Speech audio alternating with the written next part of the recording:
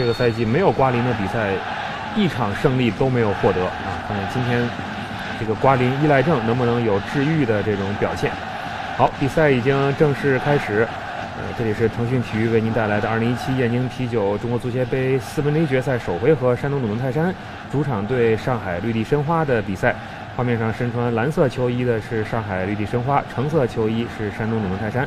这场球由孟洪涛和王宇陪大家一起来看。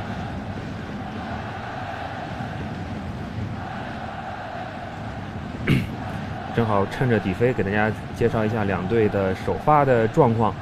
孟老，你看看啊，这李建斌好像打后腰了。山东队呢是门将二十五号王大雷，后防线上二号李松义，呃四号吉尔，五号郑铮，二十三号宋龙。这里面看看郑铮和宋龙谁踢左边位，谁踢中卫啊？嗯。然后在中场有二十六号崔巍，十七号吴兴涵，六号王彤，二十二号蒿俊闵，锋线上十九号帕皮斯西塞和十九号佩莱。呃，上海绿地申花这边门将二十七号李帅，后防线上十六号李云秋，二十五号王林各打一边。中卫现在看应该是三十号陶金，三十四号毕金浩。中场有三号李建斌，三十七号孙世林，三十九号从振，十号莫雷诺，十七号马丁斯。锋线上三十二号卡洛斯特维斯今天又首发登场。特维斯上一场比赛联赛打的呀一般。对吧？那场球其实我觉得他跟一是跟莫雷诺两个人之间的联系少，嗯，再有呢，他跟马丁斯还不一样。你那场球如果打快反的话，还真是马丁斯好使，对吧？莫雷诺他自己也讲过，我我不是莫雷诺，那个特维斯，对他自己也讲过，我喜欢打二前锋，对吧？你别把老给我搁在锋线上去。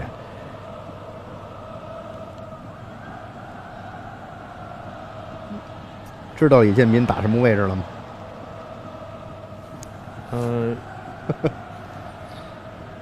陶金是拖后，李建斌跟毕金浩一人一个盯人中卫，然后呢，左边是王林，右边是李运秋，还真是五后卫呢。就从阵莫雷诺加上孙世林，这是三个中场，然后锋线上顶着马丁斯和特维斯。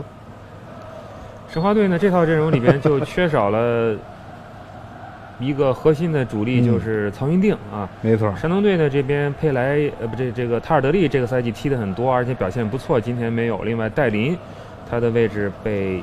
被郑铮代替了，郑铮踢的中卫，宋龙踢左边卫。没错，宋龙因为主要是踢边卫。哎呦，马丁斯再打，球进了！哇，这个球山东队的后防线出现了短路的状况啊。首先，这个高点就没人看特这个马丁斯，对吧？按说他这小个，大家是不是觉得有点有点这个？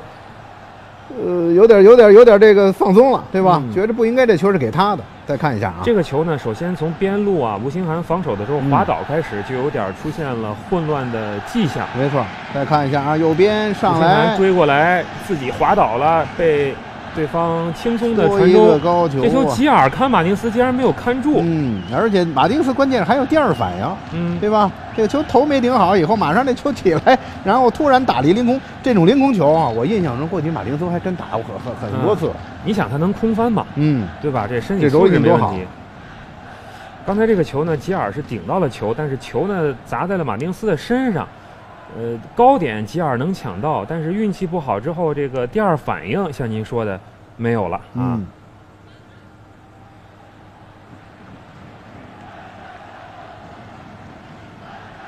上一场联赛申花呢，瓜林不上以后，他中场确实有很大的问题。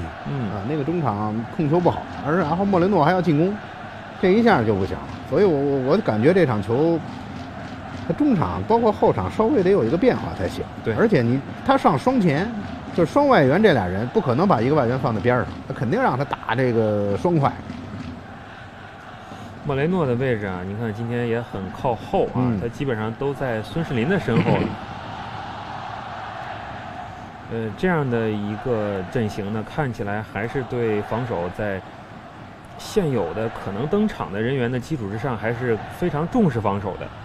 呃，开场进球，在客场进球那么快，在整个的一百八十分钟的这一回合比赛的胜负的天平上，应该说申花已经占到了优势。好球，李松义送到禁区里面，崔巍再给这球，崔巍还是应该更大胆一点。莫雷诺啊，前面俩莫雷诺，你看拿球以后就示意特维斯你往前走，但是特维斯没走，对你走这球给出去了。嗯，特维斯也不满意，说你早给我。你你看你看你看马丁斯这速度，对吧？来了又来了，哎呦，对吧？真差不多。但是特维斯干不了这活儿。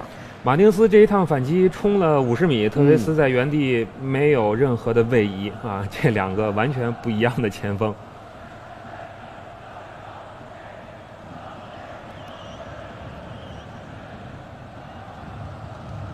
吴兴涵，西塞，没有塔尔德利呢，山东队的阵地战的能力也有一定的下降，还是现在又比分落后，看看怎么样摆脱这个困境。又有李建斌的失误啊！于不可能处现出可能啊！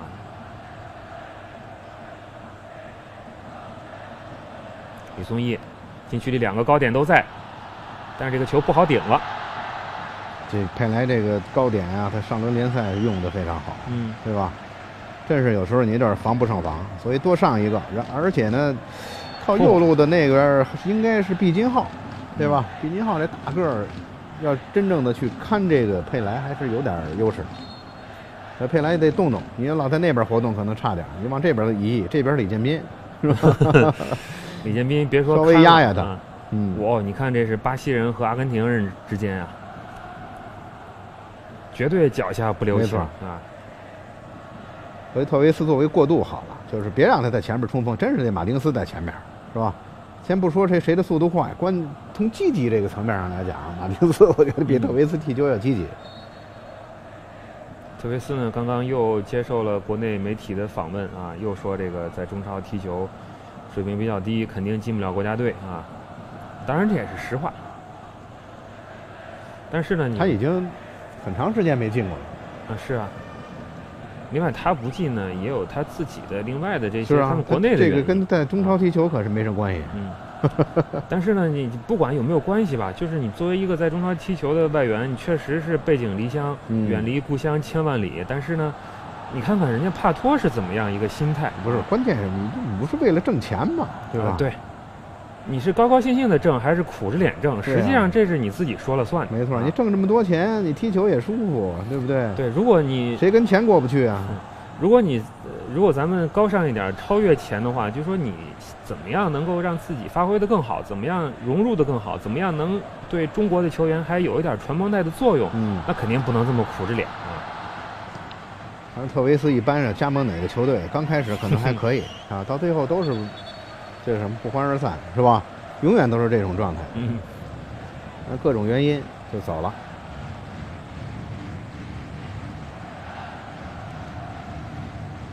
开场不到三分钟的进球，让现在很舒服。嗯，申花队踢的确实很舒服，山东队就要面临挠头的困局了。但是。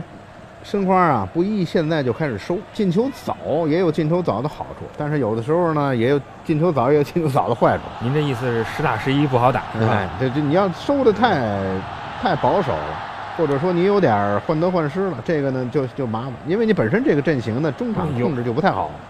哎呦，莫雷诺有一个，你看他和特维斯只要两人一接近，这个球反而就发展的不顺畅了。特维斯不知道怎么跑，嗯，莫雷诺自己带的时候没事儿啊。特维斯永远是什么呀？他想着把莫雷诺那一部分活儿给接过来，嗯，对吧？他想把莫雷诺的脚下球抢过来，哎，他想把他的不是，就是他想完成他一部分任务，就是我要拿球，其他人跑，我给球，对吧？但是莫雷诺那意思，你你你就别干了，这活儿我干了以后你就跑就行了，我到时候给你分球，嗯。莫雷诺的意思说：“你想要球啊？那你到后场来啊！你来防守啊！你又不干，对吧？”没问题。所以就上周联赛，我看这俩人反正在场上共存有问题，就真不如瓜林、莫雷诺加上这个特维斯这仨人打得好。嗯，尤其是瓜林跟莫雷诺这俩人是这这真是交不离莫，莫不离交那种感觉。都是一个国家的，而且生日还就嗯差一天啊。我一看这这俩人好像原来应该在青年队踢过。对。啊，都是俱乐部青训出来的，所以这但是这两个人配合真是太好了，对吧？敏直传，这边宋龙，宋龙的传中一般。哎呀，山东队啊，现在你看佩莱确实高空球的第一点有优势，但是他的移动能力太弱，除非你把这球三十米外打电线杆一般传到他头上，他能给你顶好。你让他去跑动抢点，他就没有。未来分到李松义，没有办法起脚传中。王彤再分李松义。嗯，孟老，你看这个申花队五后卫的阵型现在还是有用的。嗯，可不，三个中卫在禁区里待着呢，边卫就可以到禁区外边去看对方传中的这个球员。而且呢，他你这两个边人中卫就可以踏踏实实的去看你的这对方这俩前锋。嗯，防高空起码好使啊。禁区内多一个抢头球的，你如果吊高球的话，他现在起码说没什么大问题。是，而你现在吊高球，山东队这吊高球的源头边路进攻就被牵，就被限制住了，下不了底，起不了球啊。嗯，你今天又没有塔尔德利，你不下底不起球，也没有别的更好的办法。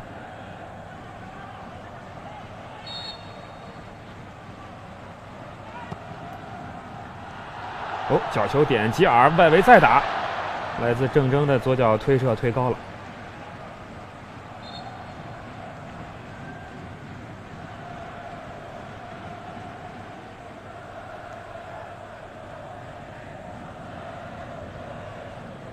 哦，摆脱了李建斌的防守，但是好在有莫雷诺。莫雷诺现在在这个角球防守、定位球防守里面的作用，真是在申花队太突出了。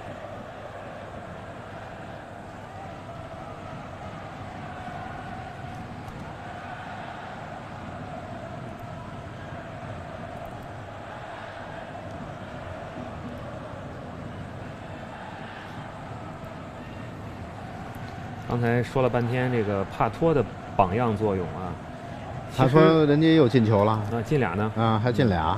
其实你不用看别的队的队友，你这个特维斯看看莫雷诺就可以，嗯，对吧？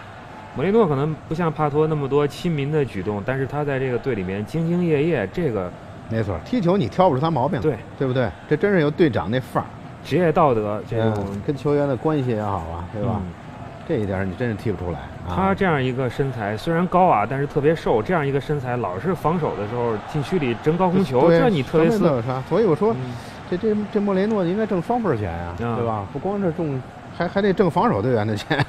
我以为您说的把特维斯那份钱挣了，那可多了。特维斯挣的太多了，对吧？把特维斯三分之一应该给人莫雷诺，是吧？你这是绩效考核了，属于。这得有绩效工资，哎呦，差一点啊！特维斯再活跃一点，刚才这球不错。这边还是空，左边还是空，莫雷诺没有给过去。嗯，这边李松义上抢非常及时，他他这球呢要退的话，估计就凶多吉少了。你看现在跟毕金浩一直跟着佩莱吧，是吧？佩莱把球分出来，这边又回来又放这是宋龙啊，这还不错。毕金浩这一人干了俩人活啊，也是。毕金浩一个健康的毕金浩，我觉得对申花真是很关键。这来了就没有怎么正经打比赛。吴兴涵陷入包围圈没有过去，又是毕金浩的缠墙解围。嗯，毕金浩要再踢不出来，他这身材真可惜了，是吧？而且今儿这表现看着还不错。这个原来也是真是干俩人活的，是吧？在建业的时候又当中锋又当中卫。其实看了申花现在防守的表现，我想起来昨天的苏宁的比赛也是五三二，咱们还说这个，嗯，五后卫不好使，但是呢，具体情况具体分析，不一样的比赛，不一样的球队，这个阵型的效果也就不同啊。刚才说了，现在申花队的防守，这五个后卫限制了对方两个中锋，又限制了对方两边路的下底突破，可以说是在九十分钟开球之前。博耶特在排兵布阵上已经先赢了一招了。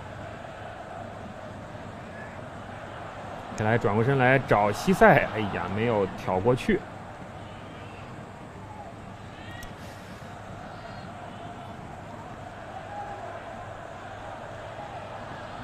宋龙又上来，这会儿别说下底了，四十五度起球的机会都没有。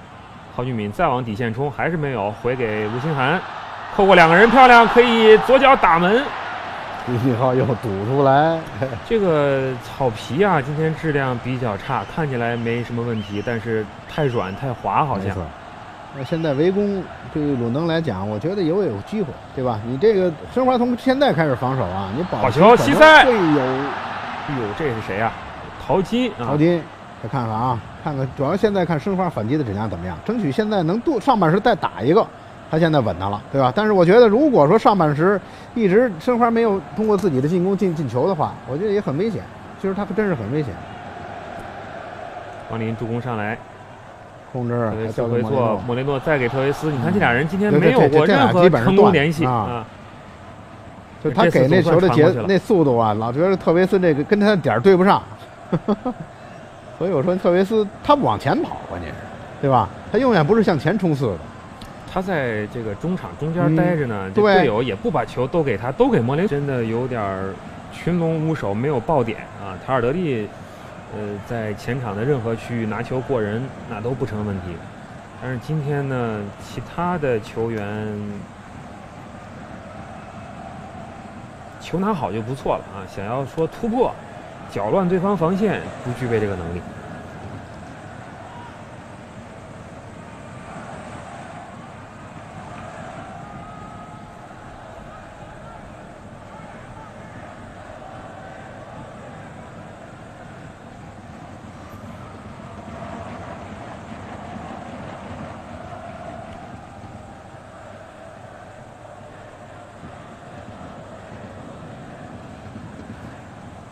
孙世林，孙世林周末的联赛踢的那叫一个郁闷啊！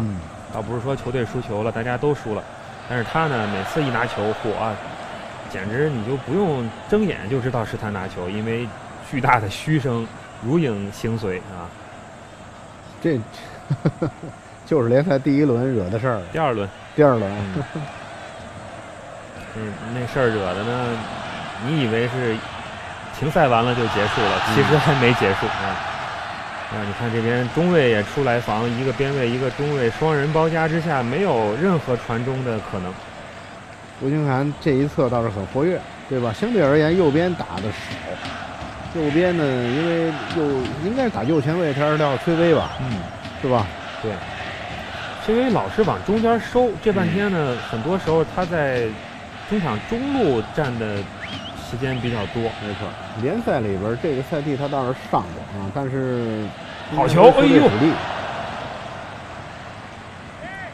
薛威啊，其实我在看足协杯山东队第一场比赛打吉林百家的时候，那场球对手弱嘛，那场球他的表现很好，有进球啊，而且中场拿球真有点蒿俊闵的风范。但是呢，其他的比赛联赛里面的比赛，包括今天，这对手强一些的话，这个小伙子自信心好像还是不太足。完全看不出来有什么过人的能力啊！但是打弱队的时候，真是发挥好。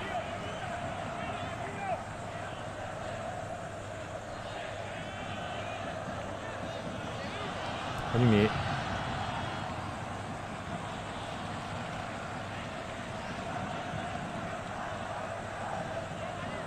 宋龙，哎呀，这刚过中场线，没带几步就要传中。莫雷诺漂亮，一拖二，两个人关门包夹，出来的是莫雷诺，还有皮球，把球送到特维斯脚下，特维斯一对一打吉尔，拿好球，能过掉吉尔吗？吉尔犯规了吧？没没犯。这个这个裁判员是不是觉得这球这本身过的时候就趟大了？嗯哼。这吉尔好像不触特维斯是吧？他就觉得马丁斯还是觉得马丁斯有威胁？对。不是你巴西人出阿根廷人，这不像话了啊！在自己国家都说不过去的事儿。西塞，哎呀，想学塔尔德利，但是这学不来呀。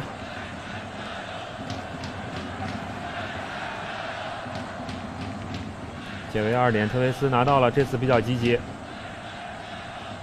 传裆没有成功，他还是想这样，对吧？从他这儿到这儿，队友给他呢，他要拿球组织。这个申花球迷可以自己计算一下，莫雷诺拿球过人的成功率，还有特维斯拿球过人的成功率啊，真的没法比。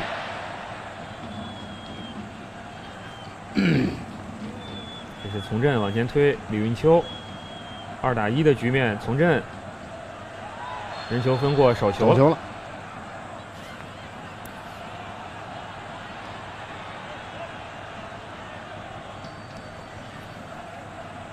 看了二十分钟，越看越觉得今天波耶特这个五后卫的变招真是精妙啊，有点做嗯啊。当然这场球鲁能还有后手啊，而且呢啊，申花这个进球时间早，他确实还有时间，嗯看看马加特的调整在哪。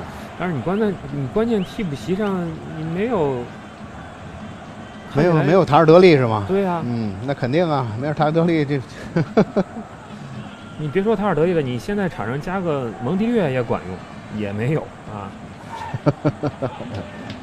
再加个阿洛维西奥是吧，也管用。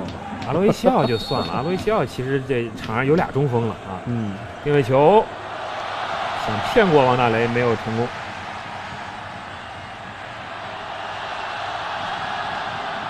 哎呀，嗯，西塞确实很努力西塞你都让他这样拿球，他也很吃力。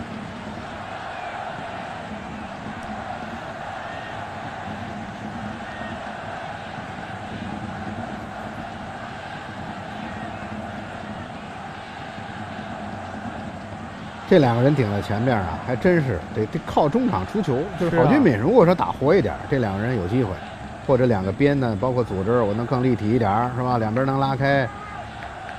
但是郝俊敏要被冻结了，因为他现在是两个中场，人对方一围他，这郝俊敏不一定真正能把球拿好了。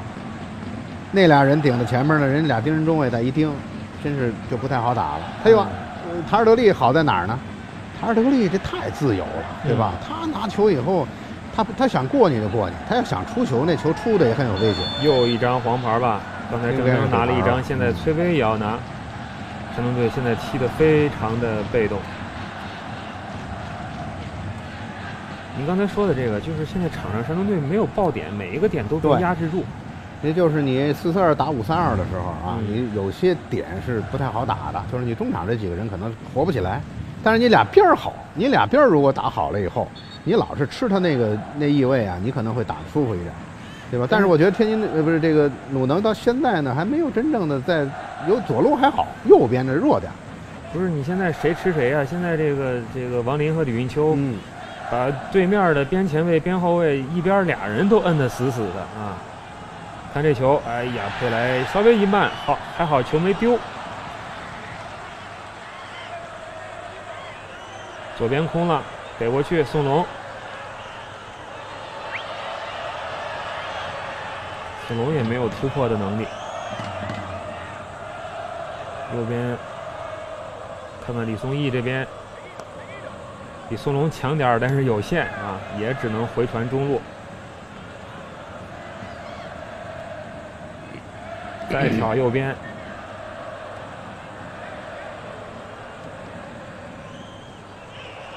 我佩莱腿真长，但是这一下踩到了李建斌，也是一张黄牌吗？佩莱也得了一张，连续短时间之内第三张黄牌了啊！哎，正好踩到了脚脚侧面。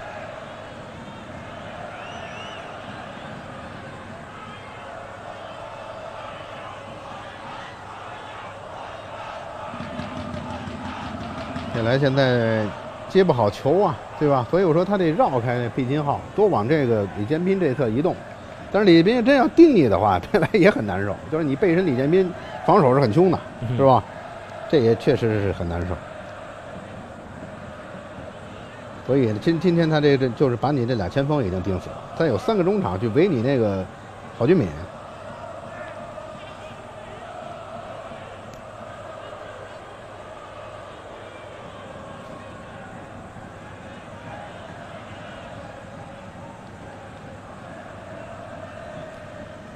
山东队前场抢，四个人没有抢出任何作用，反而被对方打一个直传的反击。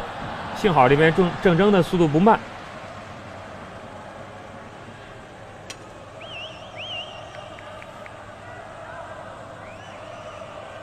孟老，您刚才说这个山东队还有时间啊，时间也过得，但是我想说是还有时间再丢更多球啊。就看你怎么调整，对吧？就山东，我觉得现在你真，因为你你可能对对方这个变化没有料到，呃，没有料到，所以你开局打的也不好。那你现在这变化在哪儿？你要快变化的话，可能现在还是机会很多。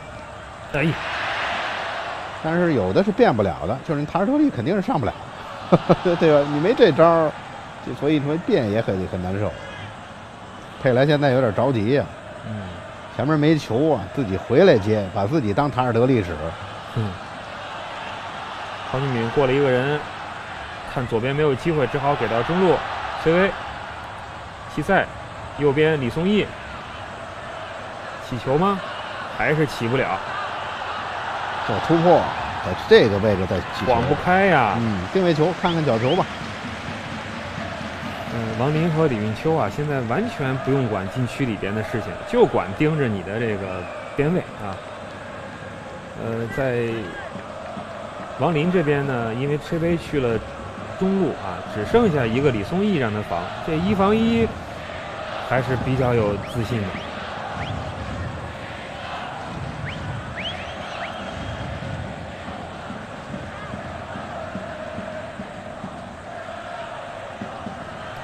球是好机会，头球顶到了，但是没有力量，没有角度。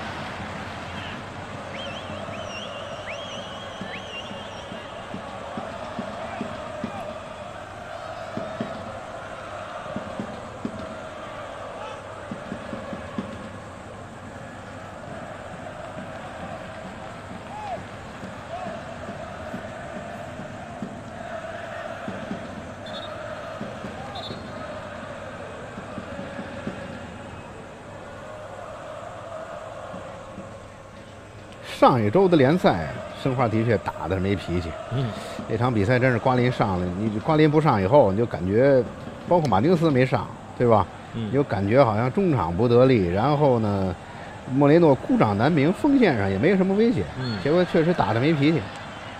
他把金基西放在后腰的位置，对，也打得不好。他没有任何拿球的，别说能力了，没有任何拿球的意识。金基西呢，就是在中场不断前插，嗯，觉得自己。不是中场，是中锋啊！呃，中场就剩一个孙世林，这而且孙世林还顶着嘘声，这没法踢了就啊。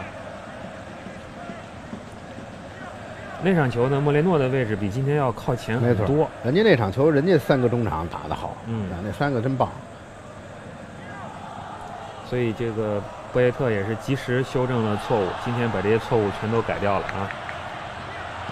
李松义总算传起来了，哎，呦漏了！哎呦，李建斌真是对方没有机会，帮对方制造机会。嗯，这球他应该解围的。没错，这个球呢有点追身，他又是打他左脚位，所以呢李建斌也很难受。你看这李建斌，关键他第一下他在看人，他看着那那个那西塞或者佩莱在哪，他看了一眼。其实球传的并不好。嗯。这个球就这种球最难受。你要是打高球啊，对吧？这中卫的一般都没问题，就怕这骑着腰眼儿这球。四十五度不起，还是在做配合。王彤转右边，李松义。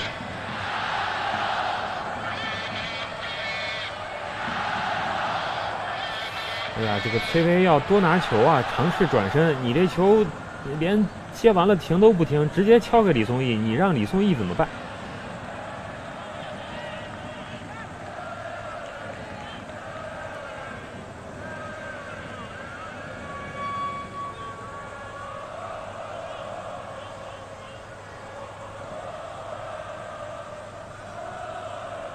崔伟转到左边，宋龙。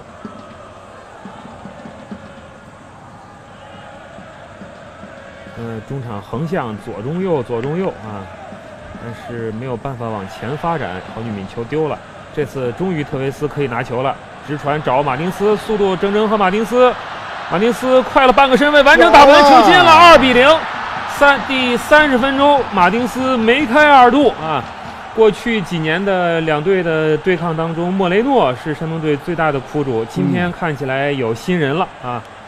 村里村里来了一个叫马丁斯的，这比莫雷诺更可怕，是啊，这就是你狂攻，你后边莫雷诺跟特维斯就干这活儿，对吧？当然特维斯，我们在一直在讲马丁斯在这个体系里的作用，肯定比这个特维斯要好。当然这个球是传的好，特维斯给的吧？嗯，对。所以特维斯他想干一个这个莫雷诺的活儿嘛，但是其实可以，对吧？莫雷诺上不来的时候，特特维斯就当瓜林使，然后他跟这个这个，因为他传球肯定也没什么大问题。只要马丁斯到了，球传过去了，这这就先咱们俩的咱们的这个中卫要盯马马丁斯这种特点的球员太难了。嗯，这要行，踏实是吧？上半时我跟这不说了吗？上半时能再打一个，踏实了。我也说了，我说这山东队还有很多时间拿来丢球啊，因为你进攻现在没有任何的一个行之有效的办法，左中右倒来倒去，你这倒好了行，你看倒丢了怎么办？对方那可有快速前锋啊。刚才就是郝俊敏中场传球一个失误，立刻就是灭顶之灾。这球吴兴涵打门，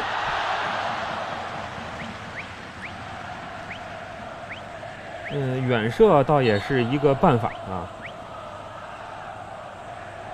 至少不用沾你那五个后卫的边儿。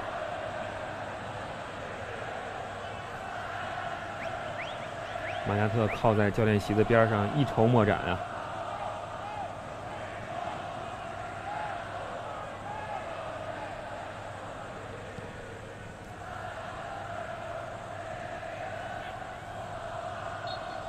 我这马丁斯还老能争到头球，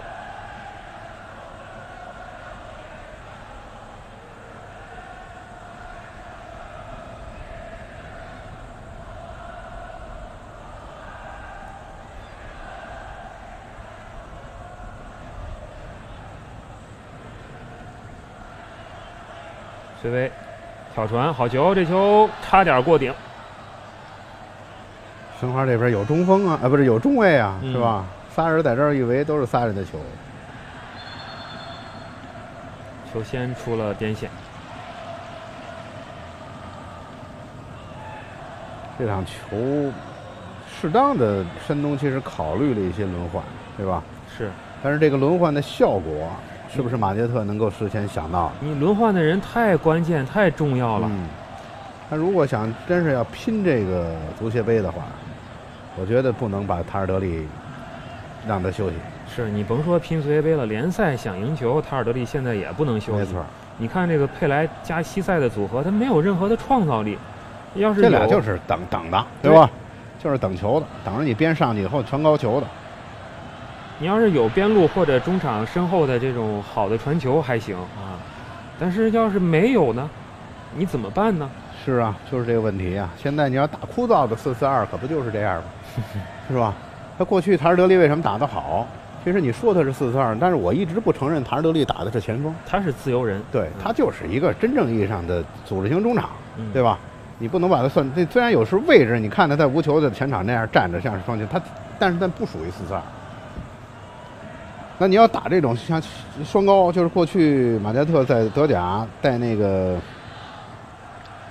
那个拿冠军那次用的那双高那种组合的话啊，你就得把边儿打好了，把边传球传好了。托尼和克洛泽是吗？嗯，那那那那那他没带过啊啊，那会儿也是对吧？也用过啊，但是托尼其实还打的少啊，那个阶段。好球，崔维好球！哎呀，佩莱又慢了。他主要是那个阶段在格拉菲特那几个人啊，是吧？啊，格拉菲特和哲科。对，在狼堡那个阶段啊，那是标准的双高。四四二，这球看出来崔巍的能力了，但是也看出来佩莱实际上，我刚才说他这个移动强点差，现在这个冲刺也比较差啊。所以你这俩前锋打不好啊，就这个体系就证明你不太好打。你就这两个人呢，要更多的一往边路扯动，对吧？多去策应边路，就是两个人不能都在中路站。再有呢，你像佩莱刚才我一激动往回撤，这也是对的。嗯，对，要撤回来，对吧？拉出来，但是拉出来，人家现在。三个中卫，你确实也拉不住什么空当了。你拉不动啊！你有每次你回撤有个中卫跟着你，身后对方的另外两个中卫还严阵以待。你一般的是什么呀？就是对双中双中卫的时候啊，二防二对二的时候，就一一拉一插，这是最合适的。你拉出一个人，然后突然打身后，对吧？然后这样是有效的。但是现在你拉不出来了，人家后边这仨人在那等着你。哦，从阵，对正正，好球，做回来，特维斯。行了，这莫雷诺没上来，他莫雷诺现在干脆我觉得也踏实会儿，对，是吧？我省我省心了。对你不是愿意什么吗？那现在反正我也二比零二比零领先，我稍微在后边待会儿。你你特维斯前边拿球组织吧。但特维斯有的时候呢，空当还行，但是一对一的时候，他过人跟特莫雷诺比起来，这差太多了。两队都有人倒地，但是比赛还在继续。佩莱在对方的要求之下，把球踢出了边线。山东队是崔巍，然后申花是莫雷诺，刚才脚下一滑。今天草皮的质量啊，呃，确实不太好。李建斌吃了一张黄牌这是什么时候的事儿？啊，这一下，哇，踩到了崔巍的脚踝。对李建斌来说，这是正常的防守动作啊，还非常友好，回来拍了拍崔巍。嗯。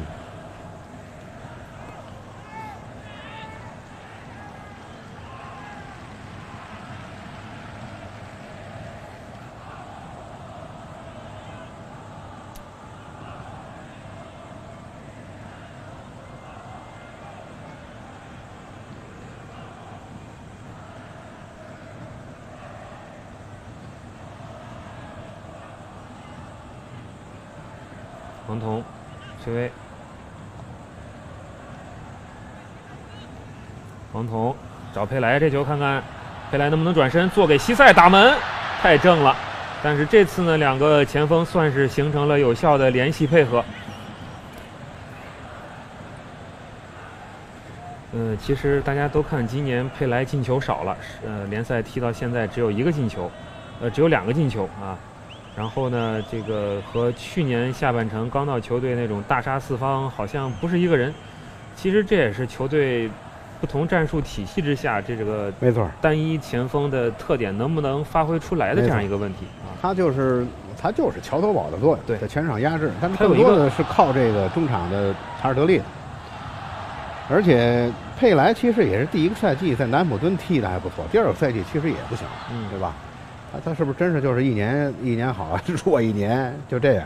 他呢，我觉得即便今年进球不多，但是这个策应，哎，他有作用，拿球啊，没错，锋线组织这个作用是。所以为什么一直坚持让他打首发也是这样，对吧？西塞呢就歇会儿了，就是他跟塔尔德利这两个人搭，后边留一个吉尔这就够了。但是呢，大家都说像这样的。像他，像其他一些意大利的中锋是体系中锋啊。嗯。什么叫体系中锋？就是身后你得有塔尔德利，身后没有塔尔德利呢，你两边能两翼齐飞啊。这二者必有其一，他才能发挥啊。你现在什么都没有，单指着他一个人，那是不可能。看看这次传中的机会，传好还是点不好。你今天派这样两个外援前锋上场，你哪怕把两个边后卫的助攻能力放大一点，那也行。但是宋龙在山东队的左边后卫里边，这助攻应该是倒数第一、倒数第二的。李松义在右边后卫里边也不是最强的。这整个的山东队今天的阵型的战术的设计不配套。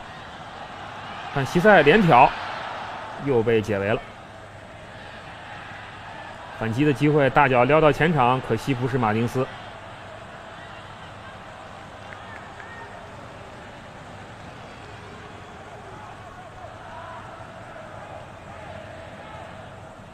崔巍这会儿的表现稍微活跃起来一些啊，他也两三次给队友送出了妙传，但是整个山东队的进攻还没有发生质的变化。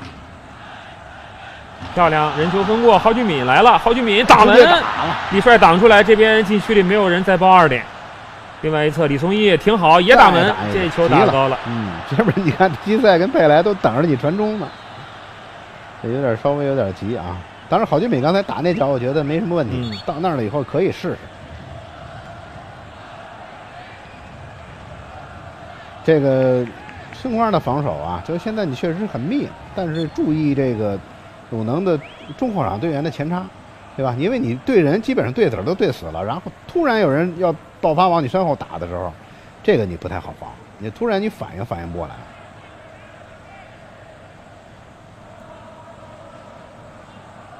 最近的十多分钟，山东队形成围攻的态势，但是呢，基本围不到禁区里边去啊。外围倒是球一直在拿。这球当心了，从阵给到马丁斯，马丁斯做回来，从阵给特维斯，没看到。这还得交给莫雷诺。嗯，莫雷诺交行了，又交给特维斯，这就是交班了，是吧？接力棒给你手里了。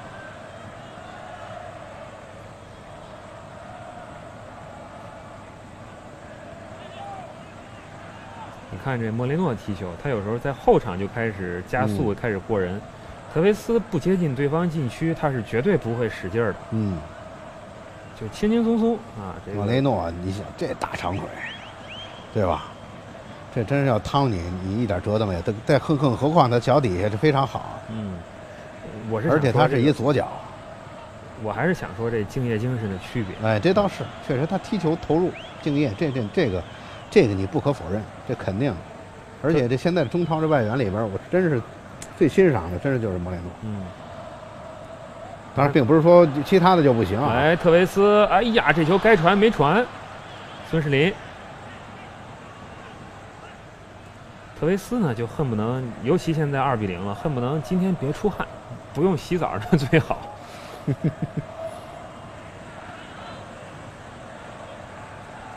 好的，哎呀，劲小了点对，稍微加力，这球有了。当然，这锅是不是也让特维斯背啊？那球你给劲儿大点，特别这个莫雷诺是不是这脚也劲儿大了？特维斯那下给的那就很轻松。就没想着让他最后借上劲儿，然后塞这一直线。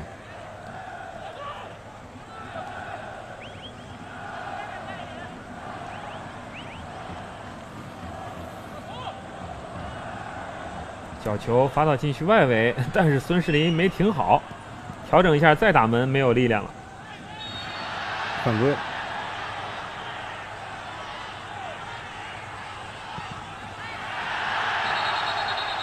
哎，镜头一转，这边出现了一点纷争，应该是吉尔想快速开球，被马丁斯破坏了，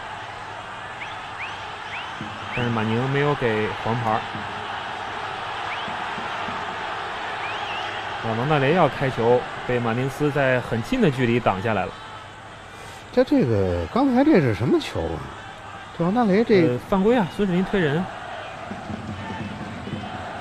犯规球，犯规球，这个球王大雷应该把球放好了吧？对他没他没摁一下，嗯，他把球放好了，这不着急开呀。这裁判员就示意，这球还在一这个动态当中是吧？因为都姓马。哎，现在新的规则是不是有一个这个关于还没还没还没实行了嘛？还没实施是吧？这是一个动向。嗯，动议啊，这个是跟那个什么，那个那个六十分钟竞比赛时间，那是一波的，正在研究呢。那干脆干脆算，别别最好是别实行。嗯，那我估计也会乱。对，因为你不是说你你这个发球一方想发就发，那边防守的还老有挡的呢，对吧？你这一场平白多多了多少黄牌啊？的。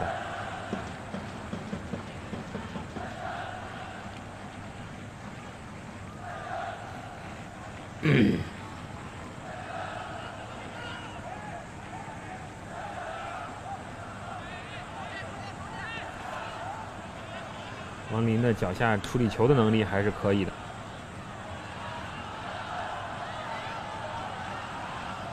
摘出来了，莫雷诺面前没有人防守，起起脚来一脚长传，太准了，马丁斯拿到，稍微大了那么两米，摆脱吉尔给到中路。王林上来，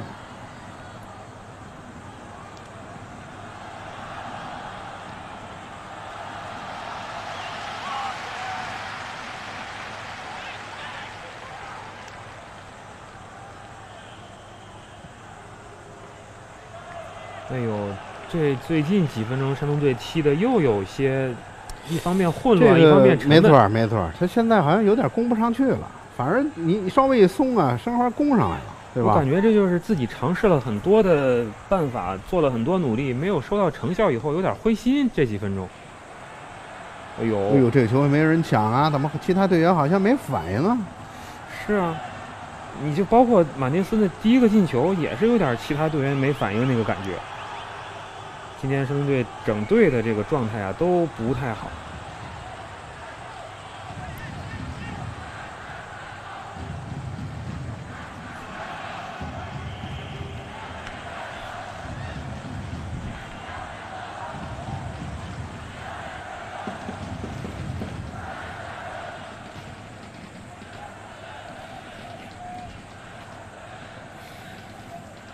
今天的足协杯四分之一决赛首回合第一场呢，是江苏苏宁在主场被上海申鑫二比二逼平了。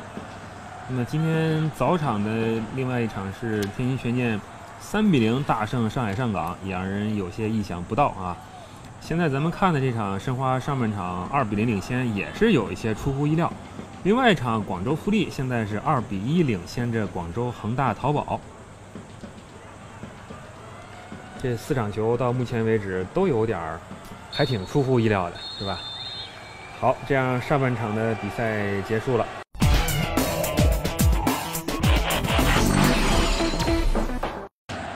想要能够晋级半决赛，那至少下半场你得扳回来一个，能扳平、能反超最好啊！好，这样下半场比赛开始，橙色球衣是主队山东鲁能泰山。客队上海绿地申花是蓝色的比赛服，继续由孟洪涛和王宇陪大家一起来看。何俊敏，哎呦，这谁呀？哇，还是莫雷诺，呀，又抢回来。嗯，哎，张弛也上了，张弛也上了，那就三个换人名额都用完了。嗯，张弛、金敬道和郑铮都出场，还真是。哎，和 和和和戴琳都出场。张弛是不是换的右边崔巍？崔巍，崔巍，然后郑铮，看看还有一个是谁呢？金敬道是不是换了左边？吴兴涵也下去了。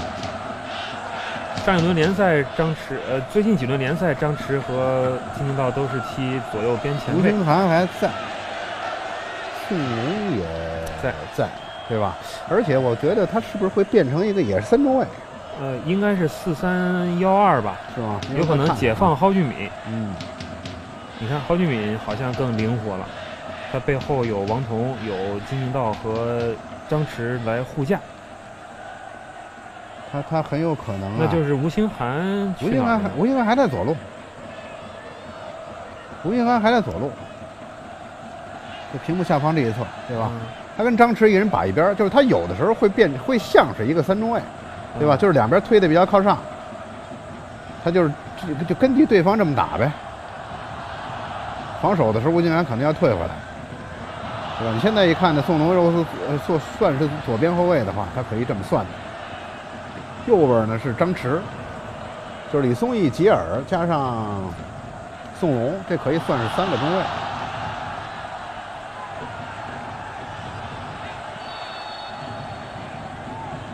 宋毅也不在了吧？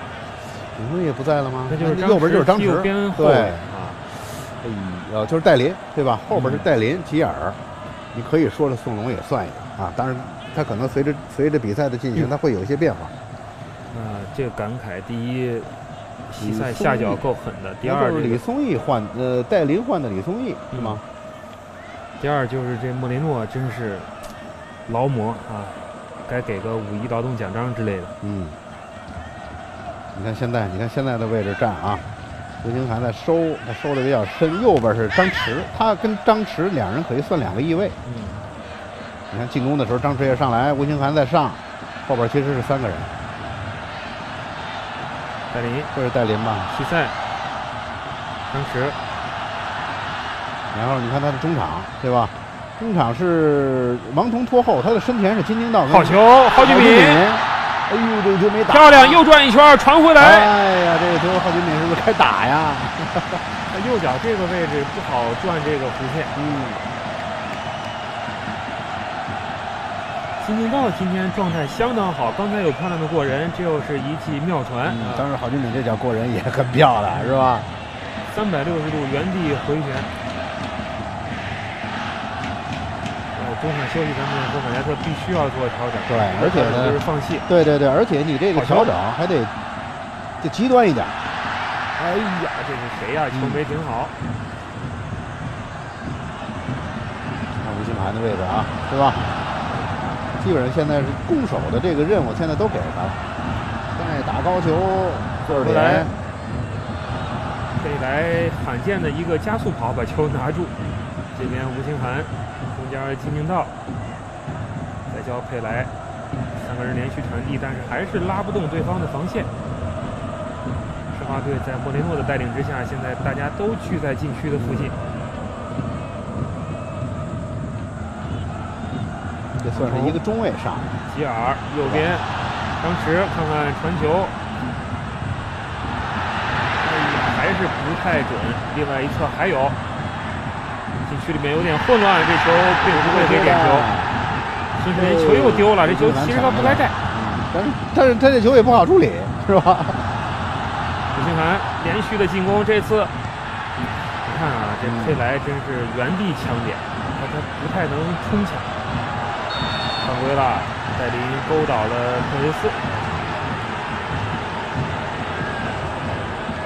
戴林还真是换的李忠义，是吧？然后呢，可以这么算，其实上了就上了仨，劝了仨，但换谁不换谁的无所谓，位置上肯定是不一样。撤掉了两个边后卫，一个边前卫，这就是真是上半时零比二，下半时真得有点极端的这种变化。嗯，从人员一下上了仨，对吧？全换了。再有呢，阵型也也有一些变化。因为你零比二和零比三、零比四这是一样的。嗯，你哪怕一比二，你可能下一回合也很困难。所以必须全换，而且整个阵型也要大动。嗯，当然了，如果你现在上有一个塔尔德利的话，能变得小一点。咱就别想塔尔德利，没没用。这就是你你你上半时确实没想到申花队这，我估计也是马加特是没想到这个阵型，而且人家发展的很好。下半时马上以其人之道还治其人之身。李新涵小球，现在看起来这五分钟踢的有一些效果。嗯。花在禁区里边已经慢慢开始，但是他这么打呢，鲁能这么打的更多的是打高球，这个申花这么打的，这是打想打，你压出来我就想打身后，这是这在这儿能换上去吗？能换上去。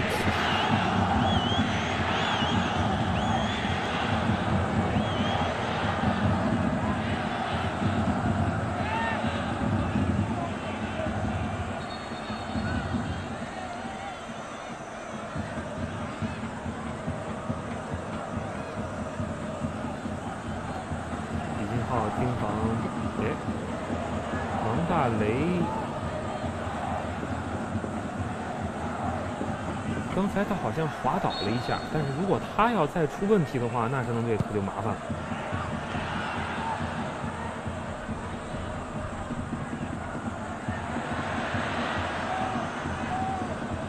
允秋，特维斯，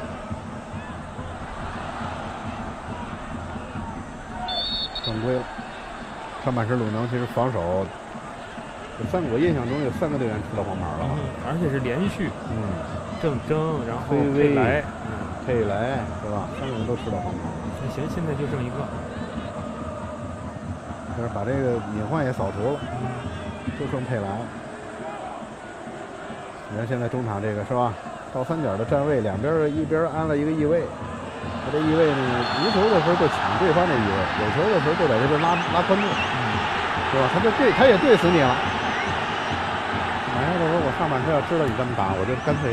开始我也这么踢就完了，这叫什么？这叫现学现用。对，现学现就是。你这就是什么？哦，我也排这得了。你跟这什么呀？就是切尔西在英超一样。后来呢，你看那个热刺跟他打也是，我啪就变了。包括这个曼联穆里尼奥，对吧？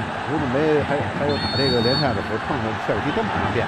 这我我就对死你，对吧？你哪强我我也在哪跟你这对着干。这样呢还真是很正确。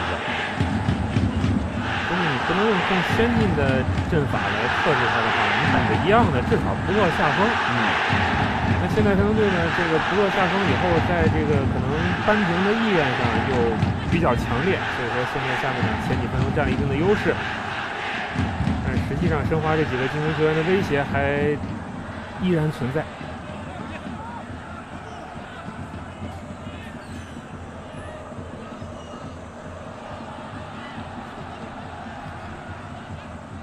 李金浩越抢越靠前，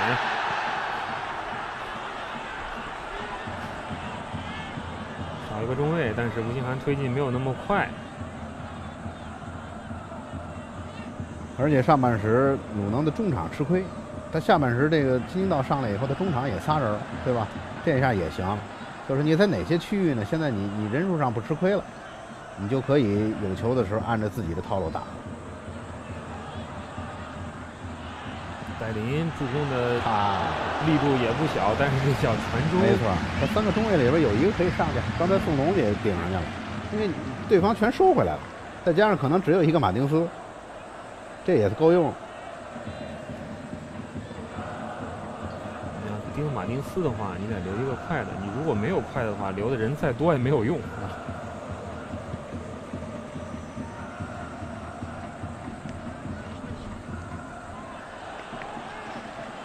金宁道积极的回防。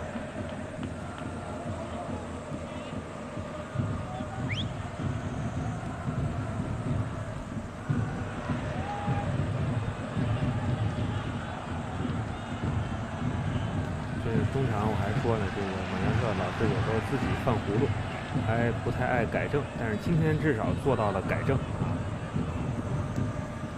这改正的办法我觉得也挺妙的，直接复制粘贴。嗯，但是他下半时直接连换三个队员啊，这这万一真是有球员伤病或者万一王大雷，对吧？就嗨，不，你看刚才王大雷往膝盖上对，这这这真是真是挺麻烦。我我觉得。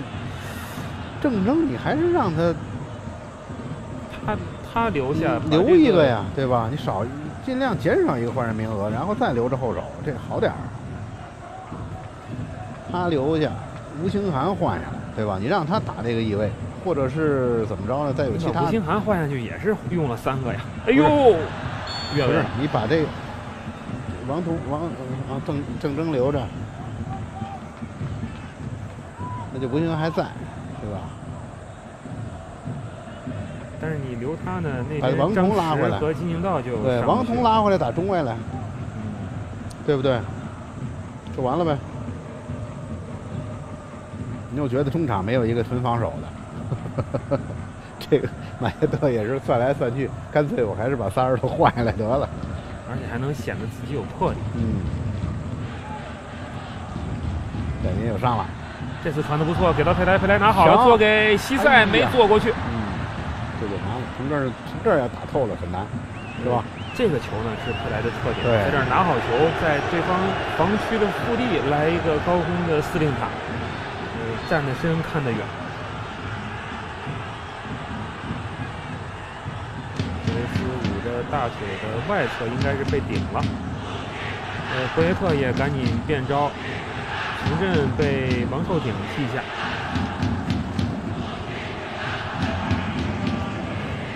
呃，联赛数位权健的比赛，这个申花用王寿鼎踢了最后十分钟左右，那几分钟那场面比金基熙在的时候强多了。黄寿挺呢，也就是现在年龄可能稍微大一点，打比赛也少点儿。对，但是他在场上打一个后腰，至少你不说有功吧。至少无过。你放一个金基熙在那儿，就是这场上实打实一。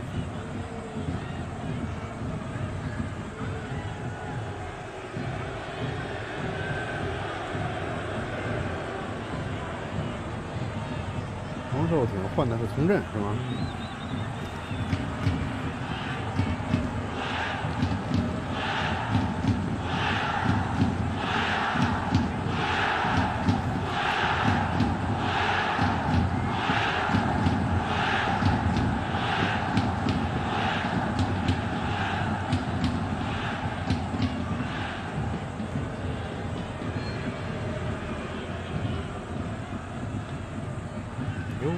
真争一争，抢一抢。这球以后，山东队寸步不让，立刻就地断下来。郝俊敏分左边，吴清涵一对一有机会。哎呀！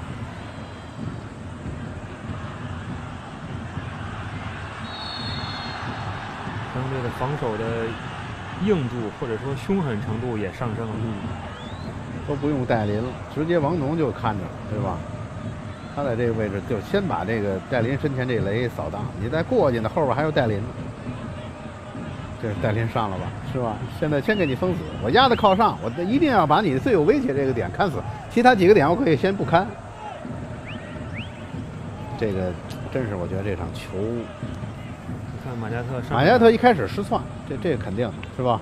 但是他上半场靠在这个教练席边上，身体不动，脑子没少动啊。嗯，所以下半时的亡羊补牢啊，但愿呢效果会好点。嗯，亡羊补牢，我觉得现在来看，申花进球的可能性变小了，但是山东队进球的可能性没有明显的这个决定性的增大啊，所以你进攻上还是有一些。解决不了的问题。这个球队现在进攻上真正能解决问题的人，还真是就是帕尔德里。这下第一脚出球，西塞又被断掉了。这顶住了鲁能队下半时开始那三板斧之后，现在申花呢又开始有球控制节奏。哎呦，哎呦，真快！这球上了帽了，上了帽了，马丁斯。马戴林给晃了，传进来，可惜没有人跟上。嗯，这球他还能完成传球。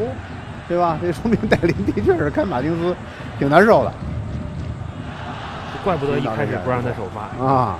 所以说人家马约特不是没有想法啊，哎，越位了，有想法，没有越位，西塞追不上啊，西塞也没什么速度。这个球最后应该是给了角球，对吧？李建斌肯定觉得我铲球这些铲到球的球是不是踢到西塞的身体上？改判吗？没有。发的很快，当时传进来，吉尔犯规了。哦，吉尔，哎，是不是？我记得上半场也对啊，吉尔是有一张吧？哎，没有，没有，没有，一张一张。佩莱、崔威和郑铮，郑铮，对我记得是中卫有一个啊，不是吉尔。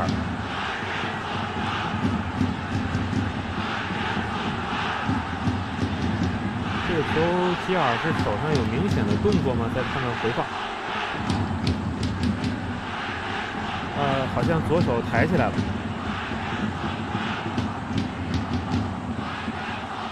王肉鼎上来以后还有一个好处是什么呀？因为他可以，因王可不是以进攻见长，对吧？而且有点高度，这样呢就相当于再增加一个高点防空。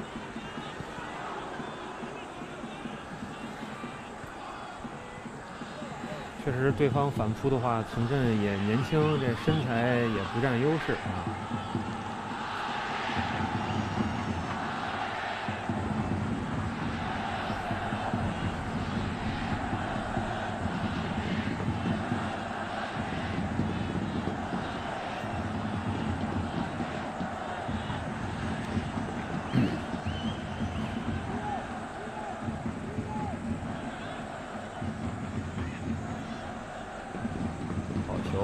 去，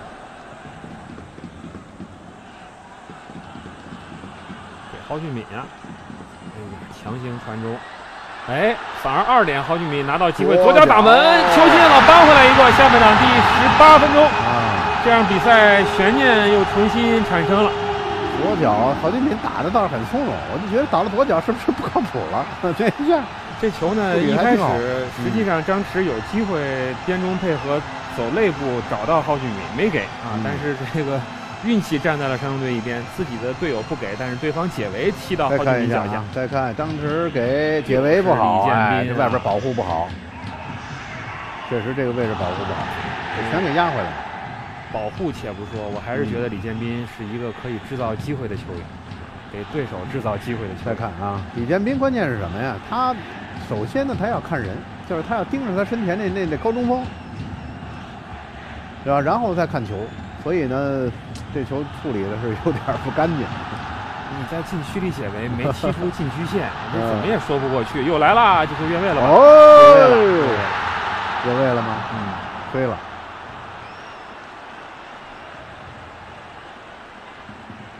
换一下，换上一个防守型的中场，这这招霍耶特倒是想到，但是刚才那一下还。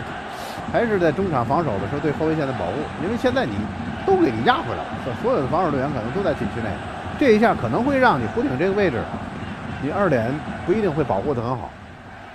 哟，马丁斯。又来了，这边戴林是直接跟他，戴林啊，真是防不了马丁斯哈，确实快，然后，他转身也快，你戴林如果不想着他前面，真是很容易被他晃掉。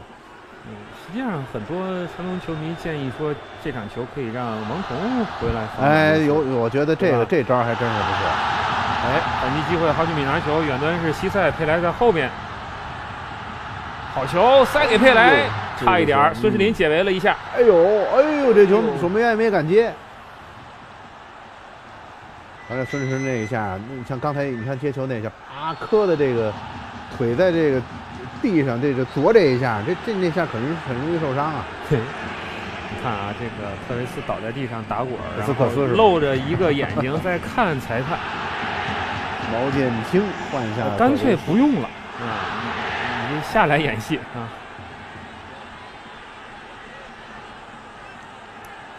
特维斯呢，今天虽说依然是那副比较慵懒的样子，但是至少送了一脚助攻。那第二个进球，从现在来看是非常关键的啊！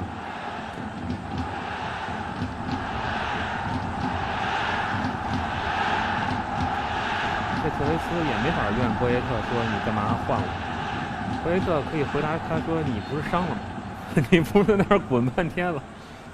这会儿啊！真是得换换他，这会儿你需要一个跑动积极的，是吧？防守能进攻能上去，防守能回来，你真得需要跑。别的不讲，速度对你不能按照原有那种节奏走了，因为现在人家变了以后，对你的压力大。这这马丁斯换换位置是吧？不能在那边去接球了，换到右边躲着点戴林吧。哎呦，我突然再一想啊，还有一个曹云定，曹云定还没上呢。对，是啊，这会儿要上来那。又是一大炸弹。嗯，还有后手，对吧？申花呢？还还有还有两招呢。还一招？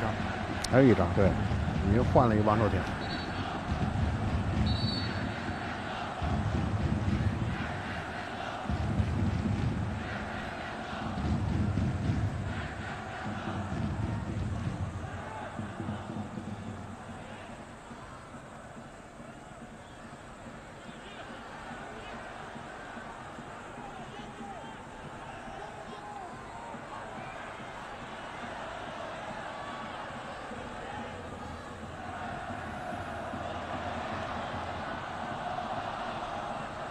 这球草皮的湿滑帮了吴兴涵，把球抢回来回做。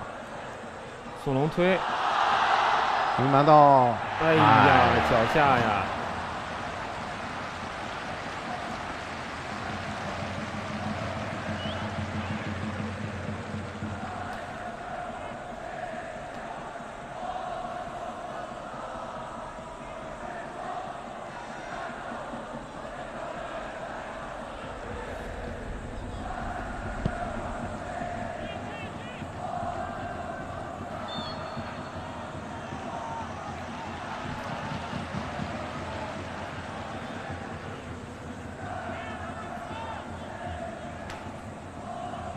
今天晚上另外那场世界杯的比赛，广州富力已经三比一领先广州恒大淘宝了啊！恒大这场球上了一些替补。嗯，另外呢，这个 U22 亚洲杯预选赛，中国队和柬埔寨队打成了零比零，已经结束啊！哎，莫雷诺断球，前面有马丁斯和毛剑卿，毛剑卿在拼命的跑远端，这球过去了。毛剑卿，对，叫一对一，这叫打门，球进，这球打的漂亮。这个换人的后手啊，呃，虽然换的比马加特慢，但是波耶特的这个效率绝对高啊。这个还真跟郝俊敏那个球很像，对吧？都是左脚打进去的啊，不是惯用脚，而且都是对方后卫给他做过来的啊。吉尔呢，也是被这两个快速的对手。搅得有点晕头转向，这球第一点没有能够解围，嗯，反而垫了一下，垫给了毛剑卿。满脸草皮的王大雷有点郁闷。没错，这个球我感觉毛剑卿，我觉得他切进来这下一对一，会不会再选择其他的这种调整？没有，直接打了一脚。这个王大雷是不是这个球也没看清楚，是吧？他脚，他他这个角度太刁了，确实是啊，打着转儿，这个然后还有一个防守队员贴着立柱，对，正是这个。一个原点，所以这就是什么呀？你马加特由于一开始就落了后手，你必须用这种像您说的极端的弥补的方式来改变挽救场上的局面。嗯，确实起到了一定的挽救的效果，但是你没有任何的变化。没错，对方的替补席上一堆人啊。这个你刚才这下啊，对方这么攻你啊，申花就显得进攻反击的力度差。你要是真是敲山震虎，你再给他像毛剑卿再一上，这样是敲打他，你就有机会了，对吧？因为特维斯，我觉得在这个体系里，就现在这种状态，就就别这个踢了。唯一的作用就是挨踢了，啊，一会儿被这个踢倒，一会儿被那个推倒啊。但是博耶特呢，不是一个想浪费时间的教练。嗯。这样三个客场进球，目前两个净胜球，申花队在这个八进四的前景已经是极端看好了。而且我觉得三比一未必是最后的比分，毛剑卿和马丁斯还都渴望进球。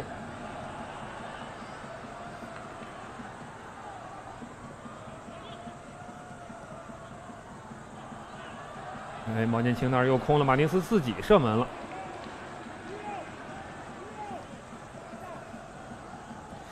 哎，我现在又想起来孟老您说的了，要是把郑铮留下呢？你这个中卫的速度还别再别再讲，你把宋龙换下去，是不是会更好一点？还真是，郑铮可以。这他起码左边这一块，对吧？这一块应该没什么问题。索隆也毕竟是打替补，来了以后都是打替补。或者把王彤拿回来，对吧？你也能防一防对方的这个快速的前锋。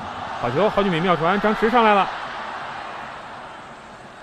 汤尼密区以后还有一道防线。今天孙世林的表现比周末的联赛提升了很多。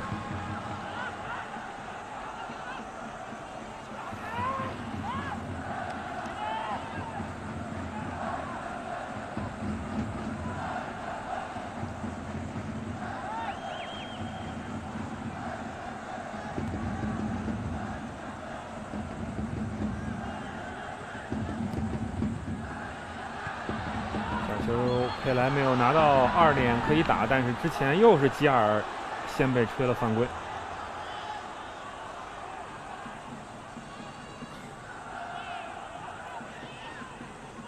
啊，如果一比三的比分或者更大的比分差距保持到中场的话，那如果说句实话，嗯，下回合塔尔德利是肯定不用上，什么佩莱、吉尔也都不用上，你就觉得放弃了，直接改成员吧。你想，你想晋级的话，你得在虹口进申花三个。嗯，这个难度不小。嗯，鲁能确实老字号，过去也是在足协杯赛场上打过很多的漂亮仗。呃，包括首届足协杯的冠军就是从申花手里。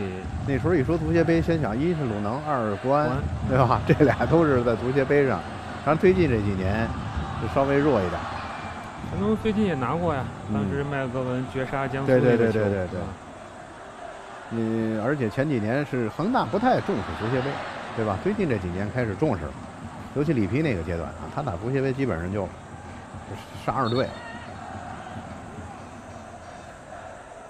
马加特想到的、能想到的，基本上现在也调整了，但是效果呢，开始也有效果，也进球了。但是你调整，人家也有调整啊。对不对？是，你现在光攻防守也难讲铁板一块。这个下半场一开始做的调整确实有效，但是呢，你这把你自己所有的余量都用完了。没错。你毛剑卿，你看上来球没进够呢，他还憋着再进你一个，好球过顶正好。不错。马宁斯，哎呀，球停大了。感觉反应很快。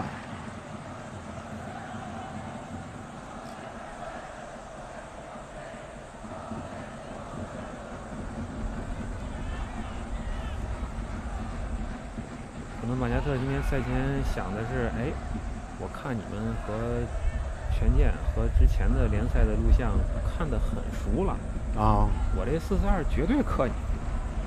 结果人家推翻了过往的自己。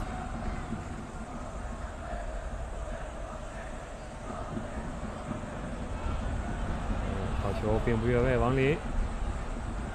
因为，王林左脚也能传中了，现在。嗯。要不然你敢打左边后卫吗？是吧？好球，牛尾巴！现在跟下半时换人之后的那个开局，又是完全两种因为你第三个球丢的太伤士气了，球员们自己也会算。咱们在这儿算下下一回合不用上外援了，他球他球员自己也在想，我去虹口，我进申花三个。对。而且你也得提防是什么呀？现在人家反击进攻的力度很强，是吧？效率很高。你不像刚开始那个阶段，我供着你后边不担心是吧？这里有三个中卫呢，然后至少还得再加上一王彤，够了。现在不行，现在提防着别被打花了啊！莫雷诺，好球！这个反向看见王守挺了，哎呦，王守挺想走内线，这就过不去了。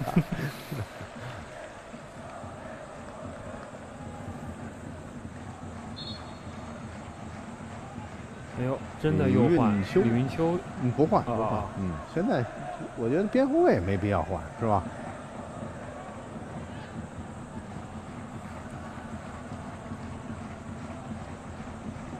再换呀，我觉得可以考虑再打个六七分钟，莫雷诺休息。呃，莫雷诺不能休息。你毕竟再打六七分钟，还剩五六分钟呢。啊，不不不，不能换，这这真不能换，真的。是，这个山东队不能少塔尔德蒂。嗯，申花呢？真是，确实是这样。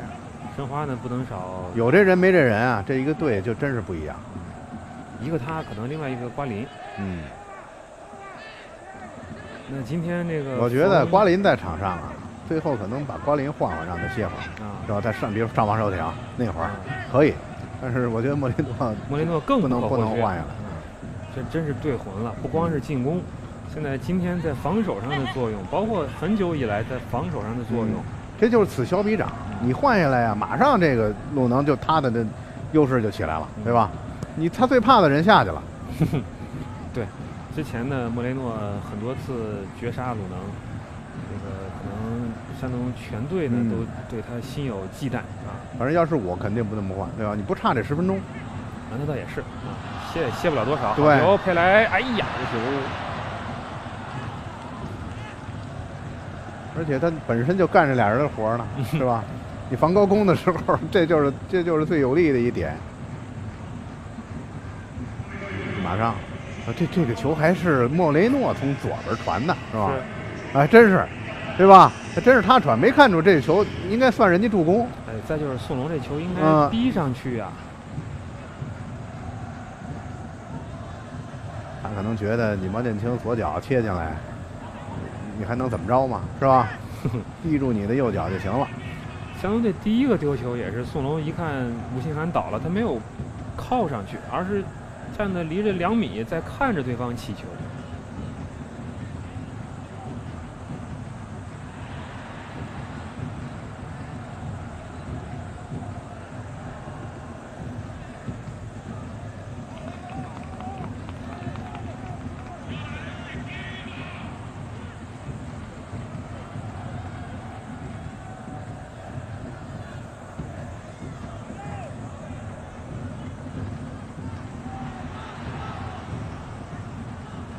秋也开始戏耍对方了。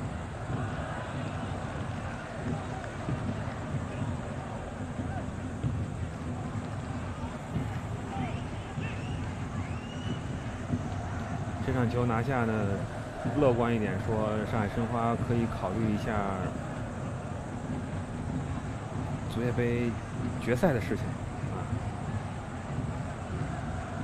这个赛季呢，在通过联赛拿到的这个亚冠资格赛的名额被他们打丢了。下赛季如果能通过足协杯拿到亚冠正赛的资格，那更进一步，而且没有任何风险啊。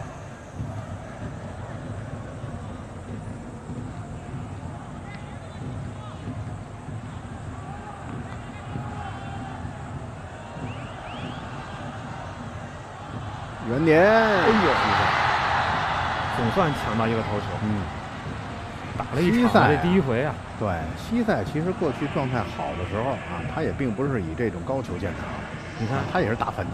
你看，真换，真换了。张路替下莫雷诺。哎呦，那我刚才失算了。嗯，不是，你对他来说，主要是十分钟也不错啊。现在真是觉得三比一了，对吧？三比一呢，靠谱一点，又是客场。当然，我刚才那句话，要是我的话，我就不换。是。您说完了，我也同意，因为他歇了一会儿，对您没没太大的实质的意义，对不对？但是这还行，这能歇十五分钟。嗯。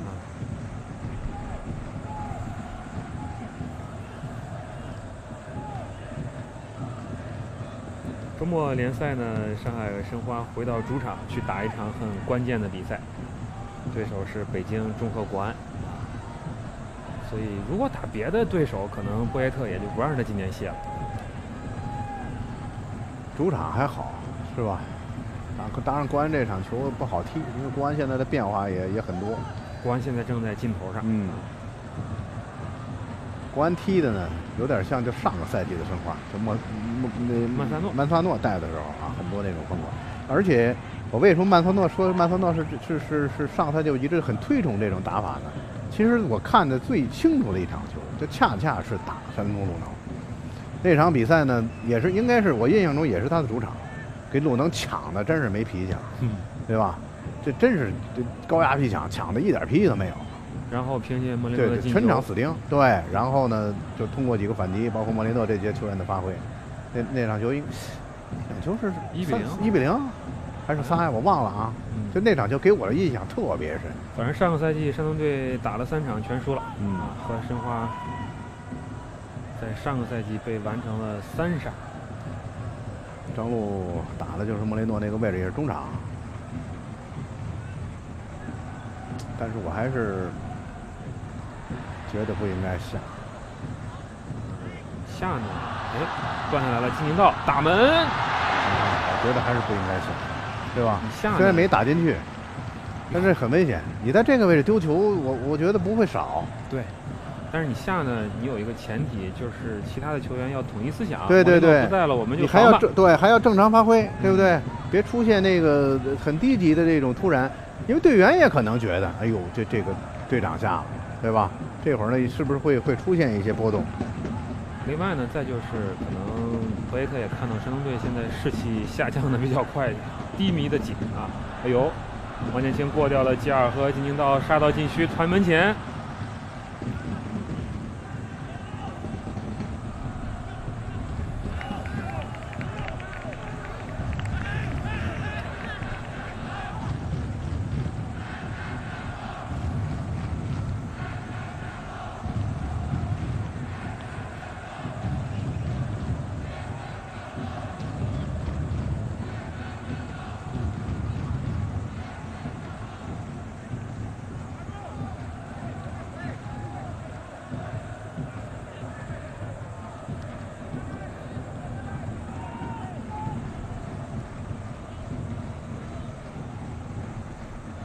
斯这半天感觉也歇了，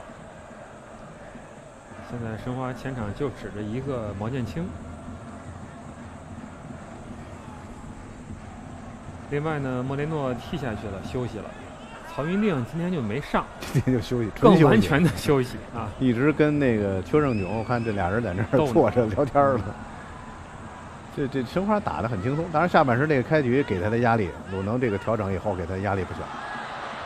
佩莱强行打门，依旧没让李帅做出侧扑。今天李帅这球也是站着就踢完了啊！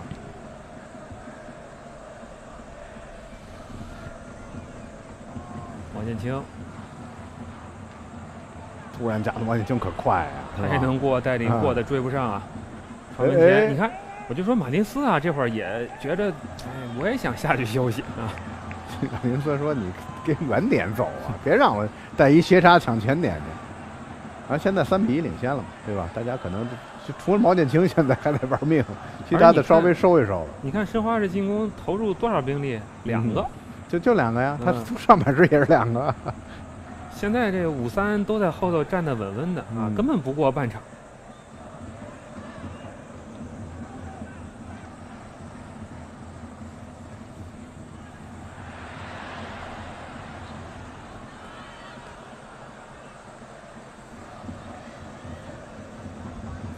左边过了一个半场，王林上去，但是球没给，还是交毛剑卿。右边李云秋也上来了，完全不着急打了。申花对虹口的自己的战力也很有信心，三比一足够。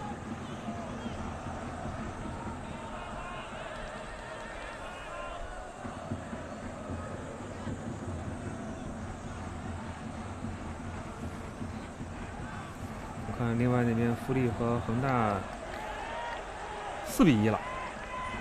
富力啊，是富力的主场吧？嗯。岳秀山改成金色座椅以后的第一场球，果然据说改了风格，还真是啊。这球有机会，张弛左脚打，他左脚是真不行。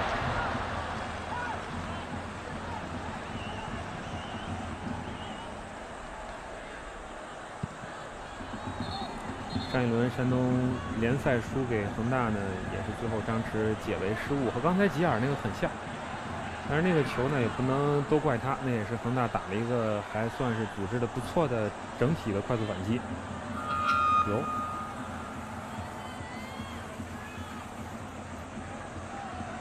哎呦，哎呦，这膝盖被，呃，对吧？他这身体给整个屁股压在腿上，对。百家俊那边刚好啊，这这这这边李云秋再伤的话，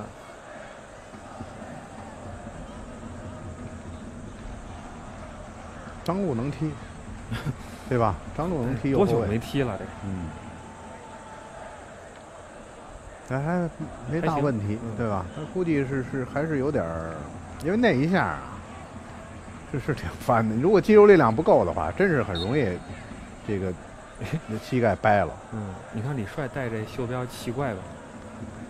来自哥伦比亚的袖标李帅。啊啊，那是莫雷诺给的是吧？嗯。这莫雷诺以后这个李帅这兜里得掖着一个，背着一个。不是，我想说这个景象以前咱们没见过，所以我说奇怪嘛，因为莫雷诺就没歇过。嗯。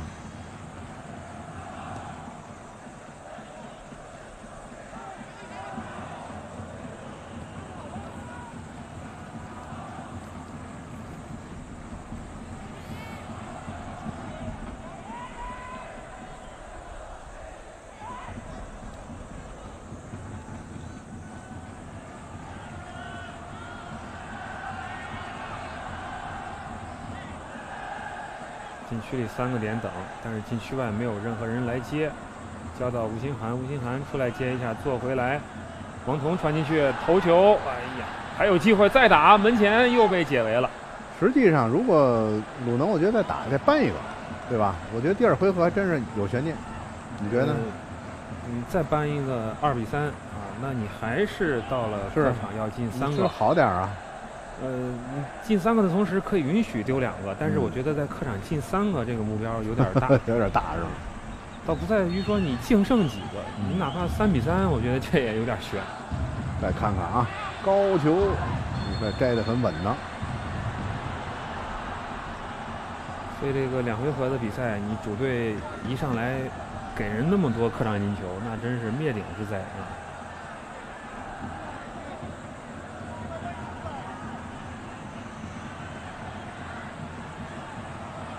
你要说次回合有机会打个一比零，那是有那是有机会。嗯，你打三比二可就难。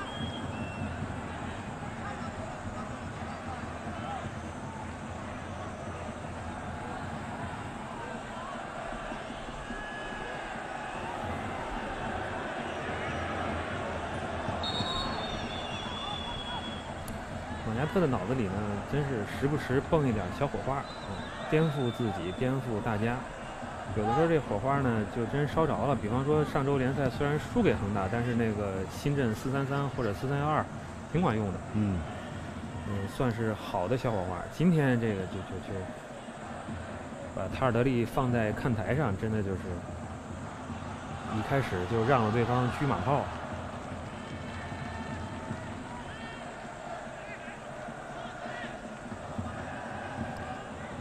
因为你打申花，你也不能说你就设想申花进不了球。这 申花的进攻的能力摆在那里啊。那你赛前不想一想，如果申花先进球，我先丢球，那我靠什么能得分能扳平呢？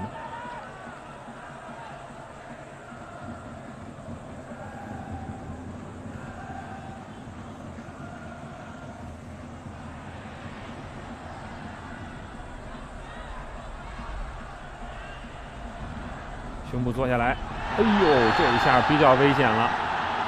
嗯，这黄牌没有问题。资金道想要俯身用胸或者用头去接球，但是对面的李云秋上来直接抬腿踢去了，一张黄牌。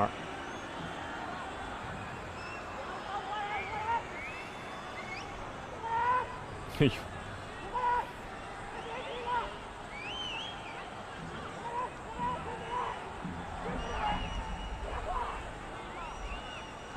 定位球点很好，看看郝俊敏。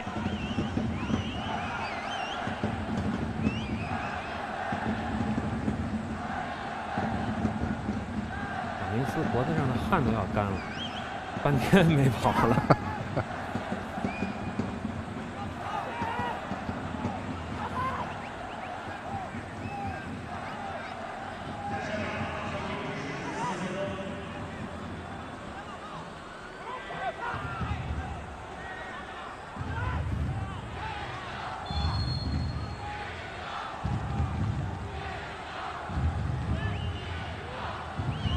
宋龙在边上是帮着瞄准的吗？可以打呀？左脚球员打吗？我觉得右脚会是郝俊敏啊，我觉得应该是。但是郝俊敏这个跟球太平行了，这个不太好打。西塞，大力，真抡啊！哎呀，没有多大的劲儿。这球打成这种球，这真是是吧？要不你就贴地龙，要不你就打一弧线。呃，毛剑卿的机会来了，这边有马林斯，马林斯，哎哎，球没有解围干净啊！马林斯在在远端说：“我好歹冲一回。”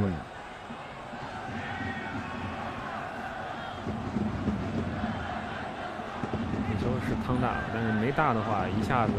对面的防线站得很平，也很容易就一下透过去。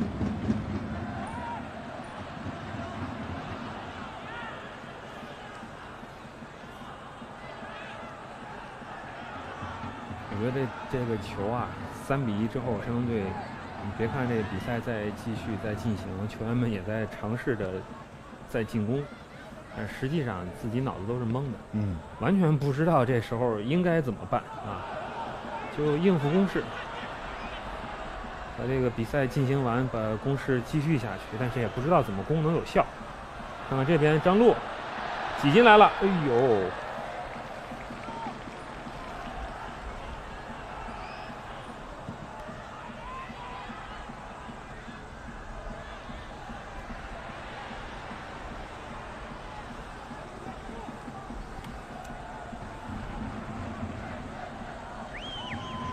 刚才我们从这个底飞上可可以看到，我们足协杯四分之一决赛次回合各场比赛的直播的时间啊。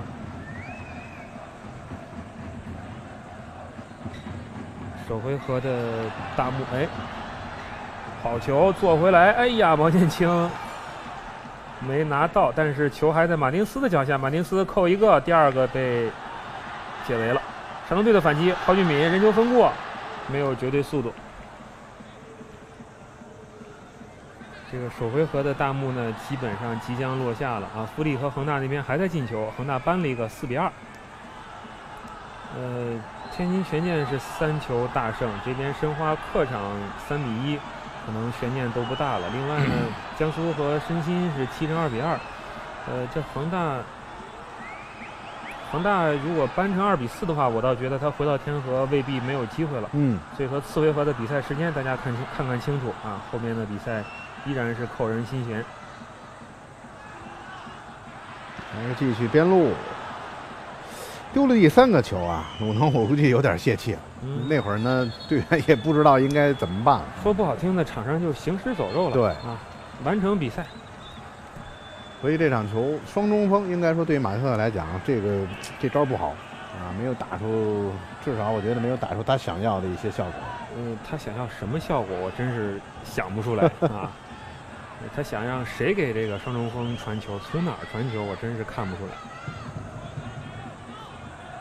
呃，这赛季初期啊，塔尔德利还没有恢复成神塔的时候，有一段时间是这俩人搭档。那个时候他们队比赛打的就反正很磕巴啊。你要遇上有一个其中一个人状态爆棚的时候，那还能险胜。但是实际上这比赛的流畅程，哎呦，王大雷怎么到这儿来了？哎，还差点王大雷助攻了。呃，比赛最后一秒险些再生波澜啊，但是山东队依然是没有能够完成进球，这样全场比赛宣告结束。呃，世界杯四分之一决赛首回合，山东鲁能泰山在主场一比三输给了上海绿地申花。后手啊，而且呢，申花这个进球时间早，他确实还有时间，看看马加特的调整在哪。但是你关键你关键替补席上你没有。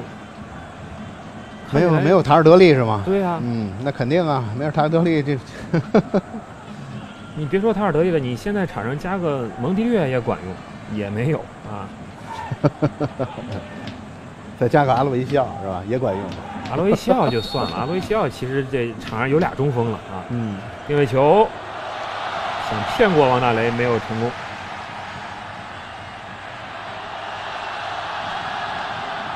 哎呀。嗯，西塞确实很努力。西塞，你都让他这样拿球，他也很吃力。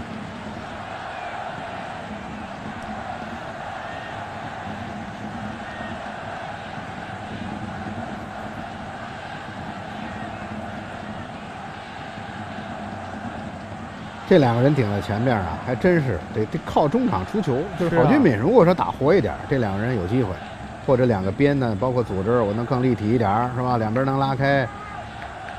但是郝俊敏要被冻结了，因为他现在是两个中场，人对方一围他，这郝俊敏不一定真正能把球拿好。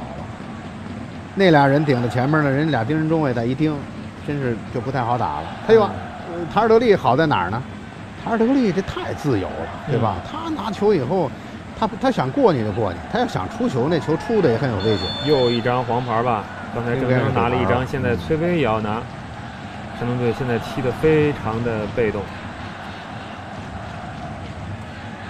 您刚才说的这个，就是现在场上山东队没有爆点，每一个点都被压制住。也就是你四四二打五三二的时候啊，你有些点是不太好打的，就是你中场这几个人可能活不起来。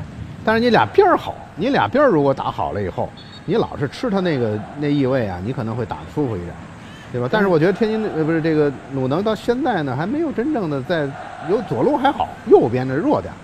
不是你现在谁吃谁啊？现在这个这个王林和李运秋。把对面的边前卫、边后卫一边俩人都摁得死死的啊！看这球，哎呀，佩莱稍微一慢，好还好球没丢。左边空了，给过去，宋龙。宋龙也没有突破的能力。右边，看看李松义这边。比宋龙强点，但是有限啊，也只能回传中路。再挑右边，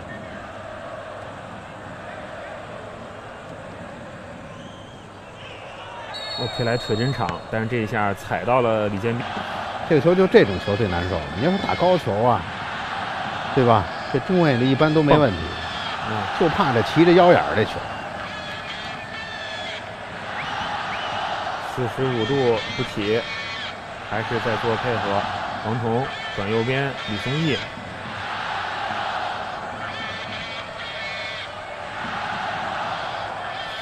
哎呀，这个崔巍要多拿球啊，尝试转身。你这球连接完了停都不停，直接敲给李松义，你让李松义怎么办？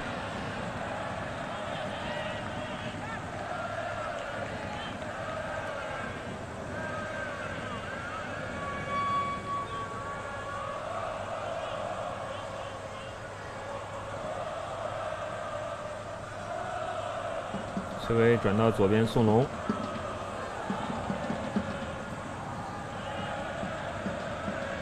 中场横向左中右，左中右啊，但是没有办法往前发展。郝俊敏球丢了，这次终于特维斯可以拿球了，直传找马丁斯，速度整整和马丁斯，马丁斯快了半个身位，完成打门，球进了，二比零。三第三十分钟，马丁斯梅开二度啊。过去几年的两队的对抗当中，莫雷诺是山东队最大的苦主。今天看起来有新人了啊！村里村里来了一个叫马丁斯的，这比莫雷诺更可怕，就是啊，这就是你狂攻，你后边莫雷诺跟特维斯就干这活儿了，对吧？当然特维斯，我们在一直在讲马丁斯在这个体系里的作用，肯定比这个特维斯要好。当然这个球是传的好，特维斯给的吧？嗯，对。所以特维斯他想干一个这个莫雷诺的活儿嘛，但是其实可以，是吧？莫雷诺上不来的时候，特维斯就当瓜林使，然后他跟这个这个，因为他传球肯定也没什么大问题。只要马丁斯到了，球传过去了，这这就先咱们俩的咱们的这个中卫要盯马马丁斯这种特点的球员太难了。嗯，这要行，踏实是吧？上半时我跟这不说了吗？上半时能再打一个，踏实了。我也说了，我说这山东队还有很多时间拿来丢球啊，因为你进攻现在没有任何的一个行之有效的办法，左中右倒来倒去，你这倒好了行，你看倒丢了怎么办？对方那可有快速前锋啊。刚才就是郝俊敏中场传球一个失误，立刻就是灭顶之灾。这球吴兴涵打门，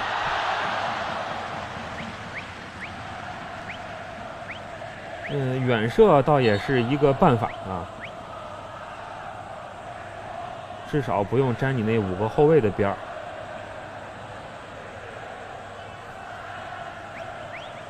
马加特靠在教练席的边上，一筹莫展啊。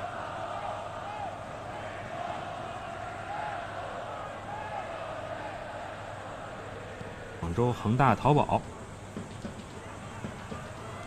这四场球到目前为止都有点儿，还挺出乎意料的，是吧？好，这样上半场的比赛结束了。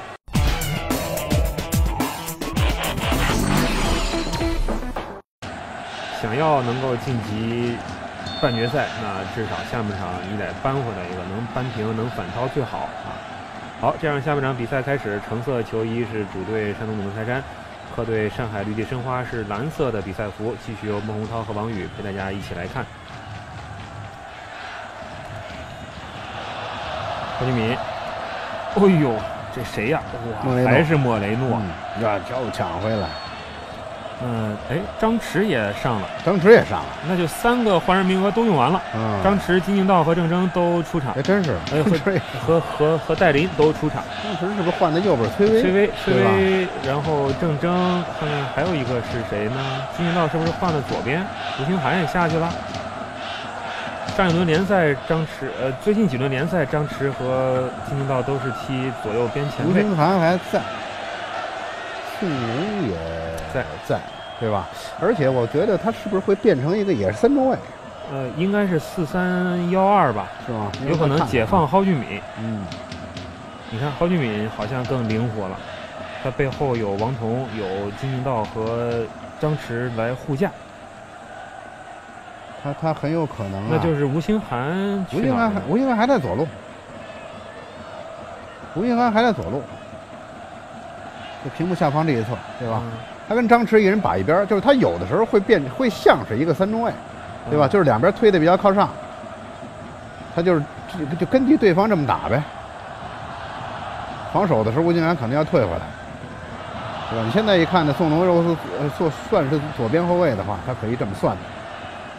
右边呢是张弛，就是李松义、吉尔加上宋龙，这可以算是三个中卫。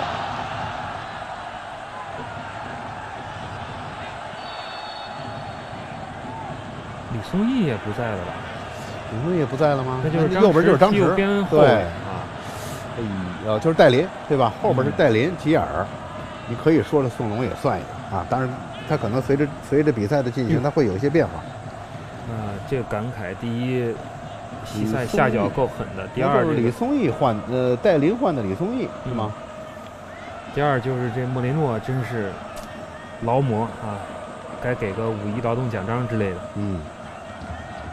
你看现在，你看现在的位置站啊，吴兴涵在收，他收的比较深。右边是张弛，他跟张弛两人可以算两个翼位。嗯，你看进攻的时候，张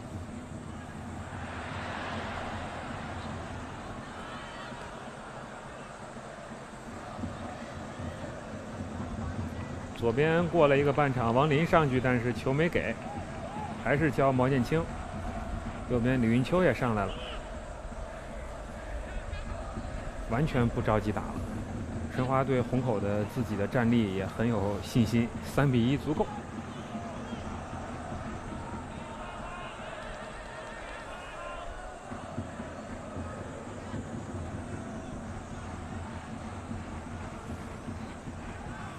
我看另外那边富力和恒大四比一了。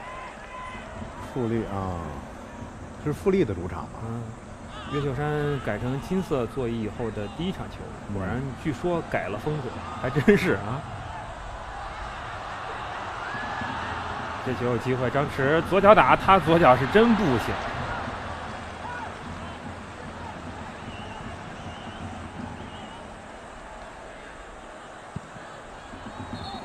上一轮山东联赛输给恒大呢，也是最后张弛解围失误，和刚才吉尔那个很像。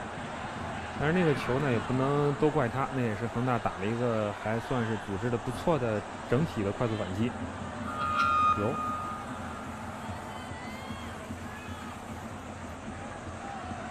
哎呦，这有这膝盖被，呃，对吧？他是身体给整个屁股压在腿上，对。百家俊那边刚好啊，这这这这边李云秋再伤的话。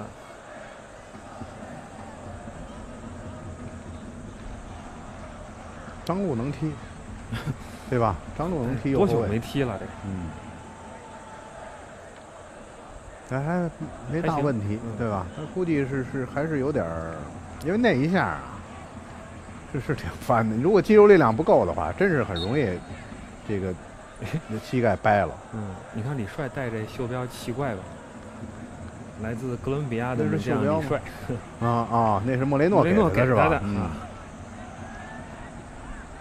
这莫雷诺以后这个李帅这兜里得掖着一个，背着一个。不是，我想说这个景象以前咱们没见过，所以我说奇怪嘛，因为莫雷诺就没歇过。嗯。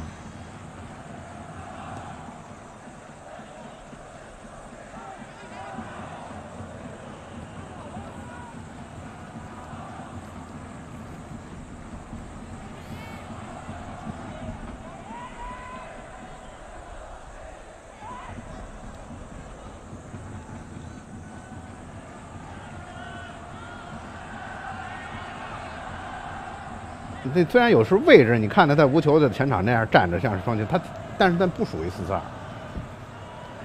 那你要打这种像双高，就是过去马加特在德甲带那个，那个拿冠军那次用的那双高那种组合的话啊，你就得把边打好了，把边传球传好了。托尼和克洛泽是吗？嗯，那那那那那他没带过啊？啊，那会儿也是，对吧？也用过。啊，但是托尼其实还打的少啊，那个阶段。好球，崔维，好球！哎呀，佩莱又慢了。他主要是那个阶段在格拉菲特那几个人啊，是吧？啊，格拉菲特和哲科。对，在狼堡那个阶段啊，那是标准的双高，四四二。这球看出来崔维的能力了，但是也看出来佩莱实际上，我刚才说他这个移动强点差，现在这个冲刺也比较差啊。所以你这俩前锋打不好啊，就。这个体系就证明你不太好打，你就这两个人呢，要更多的一往边路扯动，对吧？多去策应边路，就是两个人不能都在中路站。再有呢，你像贝莱刚才我一激动往回撤，这也是对的。嗯，对，要撤回来，对吧？拉出来，但是拉出来，人家现在 三个中卫，你确实也拉不出什么空当来。你拉不动啊！你有每次你回撤有个中卫跟着你，身后对方的另外两个中卫还严阵以待。你一般的是什么呀？就是。对双中双中卫的时候啊，二防二对二的时候，就一一拉一插，这是最合适的。你拉出一个人，然后突然打身后，对吧？然后这样是有效的。但是现在你拉不出来了，人家后边这仨人在那等着你。哦，从阵，对正正，好球，做回来，特维斯，行了，这莫雷诺没上来，他莫雷诺现在干脆我觉得也踏实会儿，对，是吧？我省我省心了。对你不是愿意什么吗？那现在反正我也二比零二比零领先，我稍微在后边待会儿。你你特维斯前边拿球组织吧。但特维斯有的时候呢，空当还行，但是一对一的时候，他过人跟特莫雷诺比起来，这差太多了。两队都有人倒地，但是比赛还在继续。佩莱在对方的要求之下，把球踢出了边线。山东队是崔巍，然后申花是莫雷诺，刚才脚下一滑。今天草皮的质量啊，呃，确实不太好。李建斌吃了一张黄牌。这是什么时候的事儿？啊，这一下，哇，踩到了崔巍的脚踝。对李建斌来说，这是正常的防守动作啊，还非常友好，回来拍了拍崔巍。嗯。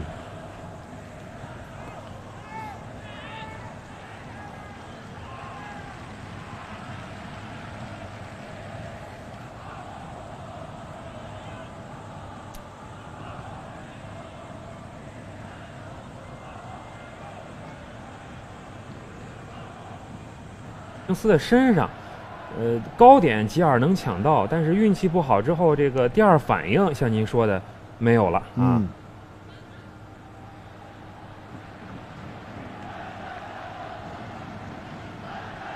上一场联赛申花呢，瓜林不上以后，他中场确实有很大的问题。嗯啊，那个中场控球不好，而然后莫雷诺还要进攻，这一下就不行。所以我我我感觉这场球。他中场包括后场稍微得有一个变化才行。对，而且你他上双前，就是双外援这俩人不可能把一个外援放在边上，他肯定让他打这个双快。莫雷诺的位置啊，你看今天也很靠后啊，他基本上都在孙世林的身后了。呃，这样的一个阵型呢，看起来还是对防守在现有的可能登场的人员的基础之上，还是非常重视防守的。呃，开场进球在客场进球那么快，在整个的一百八十分钟的这一回合比赛的胜负的天平上，应该说申花已经占到了优势。好球，李松义送到禁区里面，崔巍再给这球，崔巍还是应该更大胆一点。莫雷诺啊，前面俩莫雷诺，你看拿球以后就示意特维斯你往前走，但是特维斯没走，对你走这球给出去了。嗯，特维斯也不满意，说你早给我。你你看你看你看马丁斯这速度，对吧？来了又来了，哎呦，对吧？真差不多。当然特维斯干不了这活儿马丁斯这一趟反击冲了五十米，特维斯在原地没有任何的位移啊！这两个完全不一样的前锋。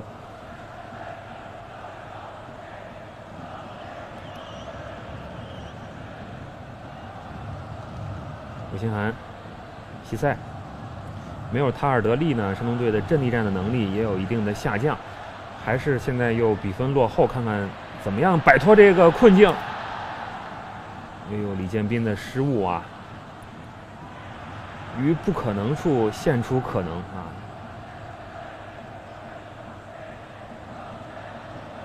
李松义禁区里两个高点都在，但是这个球不好顶了。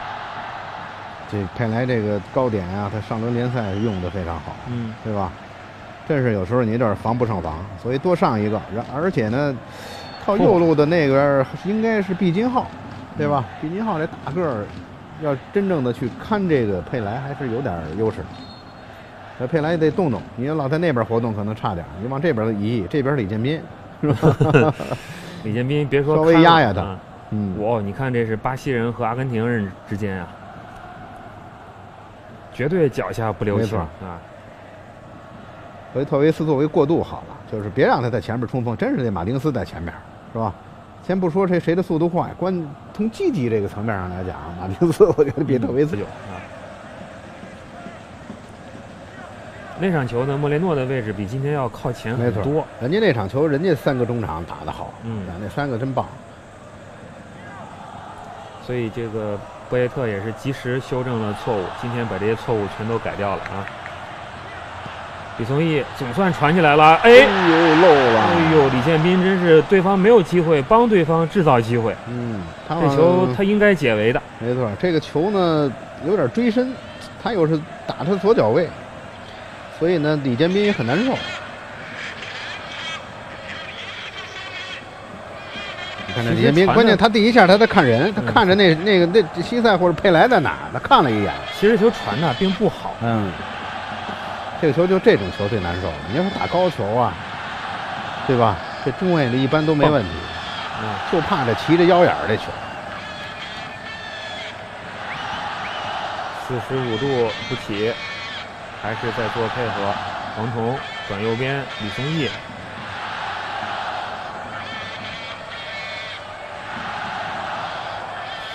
哎呀，这个崔巍要多拿球啊，尝试转身。你这球连接完了停都不停直接敲给李松义你让李松义怎么办？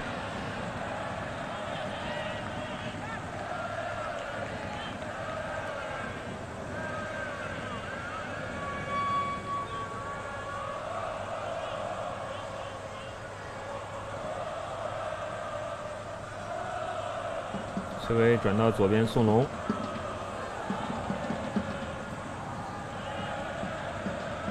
嗯，中场横向左中右左中右啊，但是没有办法往前发展。郝俊敏球丢了，这次终于特维斯可以拿球了，直传找马丁斯，速度整整和马丁斯，马丁斯快了半个身位，完成打门，球进了，二比零。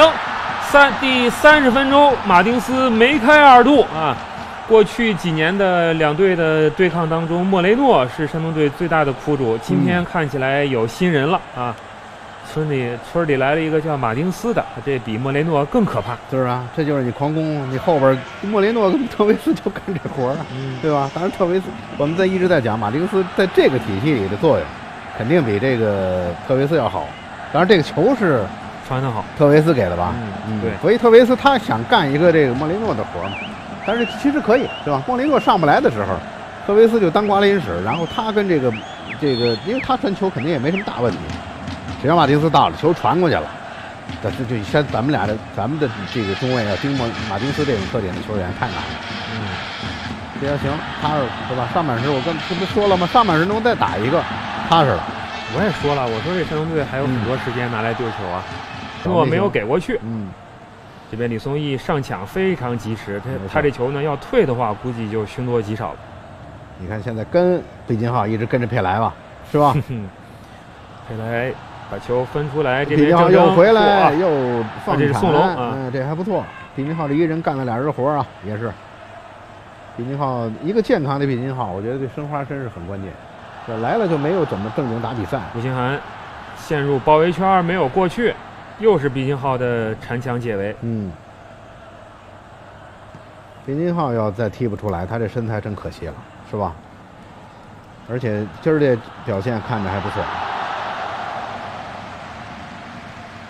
这个原来也是真是干俩人活的，是吧？在建业的时候又当中锋又当中卫。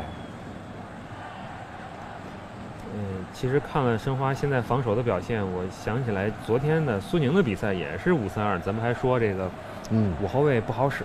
但是呢，具体情况具体分析，不一样的比赛，不一样的球队，这个阵型的效果也就不同啊。刚才说了，现在申花队的防守，这五个后卫限制了对方两个中锋，又限制了对方两边路的。下底突破，可以说是在九十分钟开球之前，博耶特在排兵布阵上已经先赢了一招了。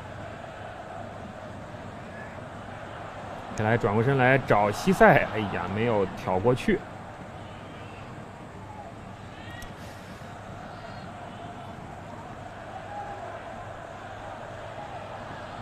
宋龙又上来。这会儿别说下底了，四十五度起球的机会都没有。郝俊敏再往底线冲，还是没有，回给吴兴涵，扣过两个人，漂亮，可以左脚打门。吴信浩又堵出来。这个草皮啊，今天质量比较差，看起来没什么问题，但是太软太滑，好像。那现在围攻对鲁能来讲，我觉得也有机会，对吧？你这个申花从现在开始防守啊，你保球西塞会有。哎呦，这是谁啊？陶金，陶金。再看看啊，看看，主要现在看申花反击的质量怎么样，争取现在能多上半时再打一个，他现在稳当了，对吧？但是我觉得，如果说上半时一直申花没有通过自己的进攻进进球的话，我觉得也很危险。其实他真是很危险。王林助攻上来，控制，小回做莫雷诺再给特维斯，你看这俩人今天没有过任何成功联系啊。就他给那球的节那速度啊，老觉得特维斯这个跟他的点儿对不上。所以我说特维斯他不往前跑，关键是，对吧？他永远不是向前冲刺的。他在这个中场中间待着呢，队友也不把球都给他，都给莫雷，真的有点群龙无首，没有爆点啊。塔尔德利，呃，在前场的任何区域拿球过人，那都不成问题。刚才说了半天这个帕托的榜样作用啊，他说人家又进球了，啊，进俩呢，啊，还进俩。其实你不用看别的队的队友，你这个特维斯看看莫雷诺就可以，嗯，对吧？莫雷诺可能不像帕托那么多亲民的举动，但是他在这个队里面兢兢业业，这个没错。踢球你挑不出他毛病，对对不对？这真是有队长那范儿，职业道德这种跟球员的关系也好啊，对吧？这一点你真是踢不出来。他这样一个身材虽然高啊，但是特别瘦，这样一个身材老是防守的时候禁区里争高空球，这你特维斯，所以我说。这这这莫雷诺应该挣双份钱呀，对吧？不光是挣，还还得挣防守队员的钱。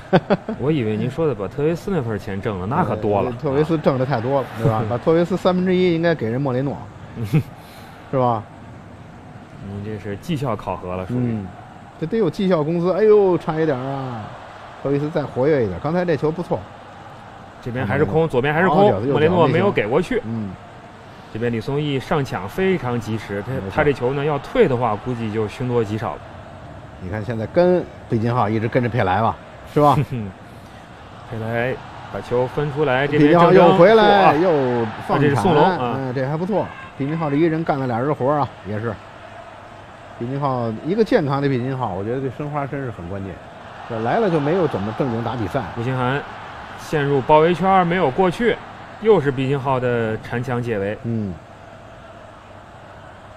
毕金浩要再踢不出来，他这身材真可惜了，是吧？而且今儿这表现看着还不错。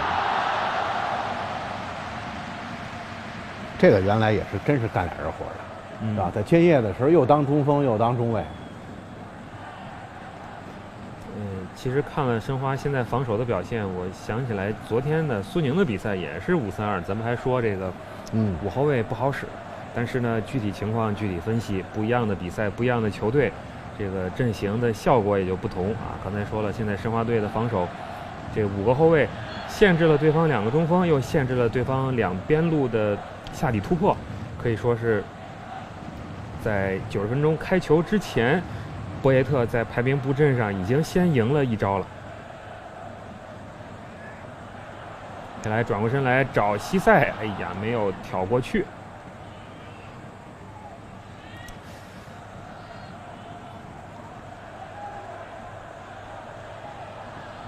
宋龙又上来，这会儿别说下底了，四十五度起球的机会都没有。郝俊敏再往底线冲，还是没有，回给吴兴涵，扣过两个人，漂亮，可以左脚打门。李信号又堵出来，这个草皮啊，今天质量比较差，看起来没什么前景，已经是极端看好了。而且我觉得三比一未必是最后的比分，毛剑卿和马丁斯还都渴望进球。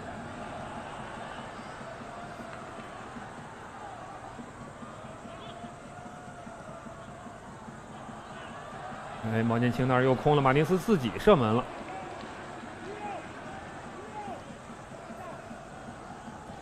哎，我现在又想起来孟老您说的了，要是把郑铮留下呢？你这个中卫的速度还别再别再别再讲，你把宋龙换下去，是不是会更好一点？还真是，郑铮可以，这他起码左边这一块，对吧？这一块应该没什么问题。宋龙也毕竟是打替补，来了以后都是打替补。或者把王彤拿回来，对吧？你也能防一防对方的这个快速的前锋。好球，好几米妙传，张弛上来了。汤尼禁区以后还有一道防线。今天孙世林的表现比周末的联赛提升了很多。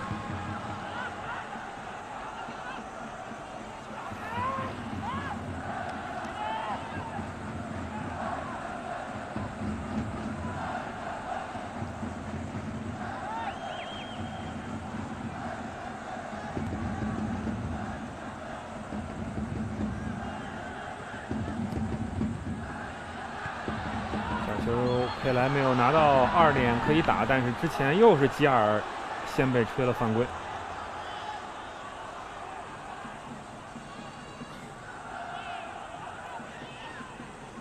啊，如果一比三的比分或者更大的比分差距保持到中场的话，那容我说句实话，嗯，下回合塔尔德利是肯定不用上，什么佩莱、吉尔也都不用上，你就觉得放弃了，直接改成员吧。你想，你想晋级的话，你得在虹口进申花三个。嗯，这个难度不小。嗯，鲁能确实老字号，过去也是在足协杯赛场上打过很多的漂亮仗。呃，包括首届足协杯的冠军就是从申花手里。那时候一说足协杯，先想一是鲁能，二是国安，对吧？这俩都是在足协杯上。当然最近这几年就稍微弱一点。山东最近也拿过呀，当时麦格文绝杀江苏对对对对对对。嗯，而且前几年是恒大不太重视足协杯，对吧？最近这几年开始重视了，尤其里皮那个阶段啊，他打足协杯基本上就杀二队。马加特想到的、能想到的，基本上现在也调整了，但是效果呢，开始也有效果，也进。但特维斯有的时候呢，空当还行，但是一对一的时候，他过人跟特莫雷诺比起来，这差太多了。两队都有人倒地，但是比赛还在继续。佩莱在对方的要求之下，把球踢出了边线。山东队是崔巍，然后申花是莫雷诺，刚才脚下一滑。今天草皮的质量啊，呃，确实不太好。李建斌吃了一张黄牌这是什么时候的事儿？啊，这一下，哇，踩到了崔巍的脚踝。对李建斌来说，这是正常的防守动作啊，还非常友好，回来拍了拍崔巍。嗯。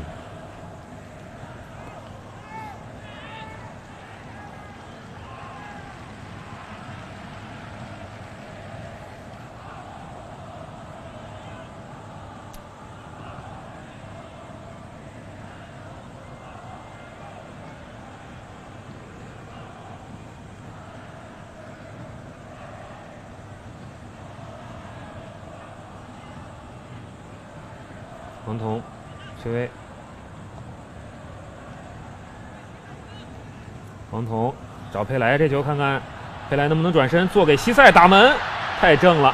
但是这次呢，两个前锋算是形成了有效的联系配合。嗯，其实大家都看今年佩莱进球少了，呃，联赛踢到现在只有一个进球，呃，只有两个进球啊。然后呢，这个和去年下半程刚到球队那种大杀四方好像不是一个人。其实这也是球队不同战术体系之下，这这个没错单一前锋的特点能不能发挥出来的这样一个问题啊。他就是他就是桥头堡的作用，对，在前场压制，但是更多的是靠这个中场的塔尔德利。而且佩莱其实也是第一个赛季在南普敦踢的还不错，第二个赛季其实也不行，嗯，对吧？他他是不是真是就是一年一年好，弱一年就这样？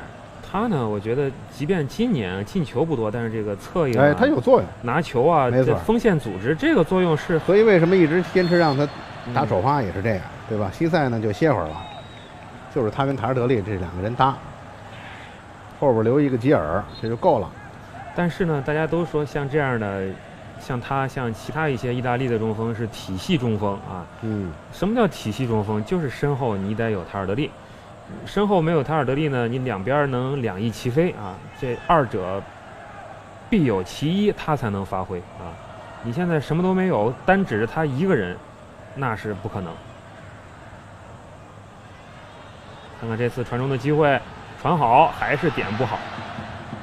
简直你就不用睁眼就知道是他拿球，因为巨大的嘘声如影形随啊！这就是联赛第一轮惹的事儿。第二轮，第二轮，嗯，那事儿惹的呢？你以为是停赛完了就结束了，其实还没结束啊！啊，你看这边中卫也出来防，一个边卫一个中卫，双人包夹之下，没有任何传中的可能。吴兴涵这一侧倒是很活跃，对吧？相对而言，右边打的少。右边呢，因为右应该是打右前卫，他是叫崔威吧？嗯，是吧？对。崔巍老是往中间收，这半天呢，很多时候他在中场中路站的时间比较多。没错，联赛里边这个赛季他倒是上过啊，但是好球！哎呦！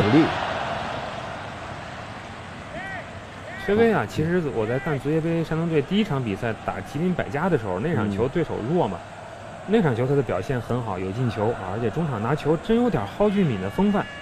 但是呢，其他的比赛联赛里面的比赛，包括今天，这对手强一些的话，这个小伙子自信心好像还是不太足，完全看不出来有什么过人的能力啊。但是打弱队的时候，真是发挥好。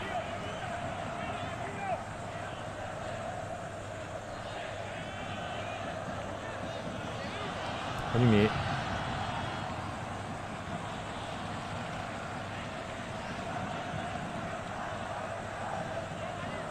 宋龙。哎呀，这刚过中场线没带几步就要传中。莫雷诺漂亮，一拖二，两个人关门包夹，出来的是莫雷诺，还有皮球，把球送到特维斯脚下，特维斯一对一打吉尔，拿好球，能过掉吉尔吗？吉尔犯规了吧？没没犯。这这裁判员是不是觉得这球这本身过的时候就趟大了？嗯这吉尔好像不怵特维斯是吧？他就觉得马丁斯还是觉得马丁斯有威胁？对。不是你巴西人出阿根廷人，这不像话了啊！在自己国家都说不过去的事儿。西塞，哎呀，想学塔尔德利，但是这学不来呀。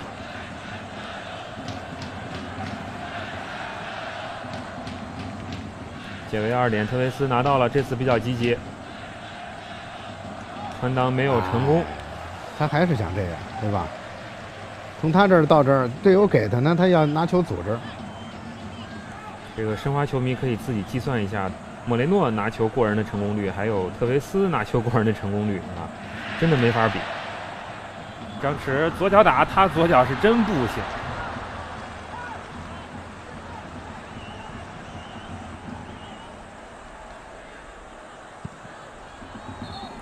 上一轮山东联赛输给恒大呢，也是最后张弛解围失误，和刚才吉尔那个很像。但是那个球呢，也不能都怪他，那也是恒大打了一个还算是组织的不错的整体的快速反击。有。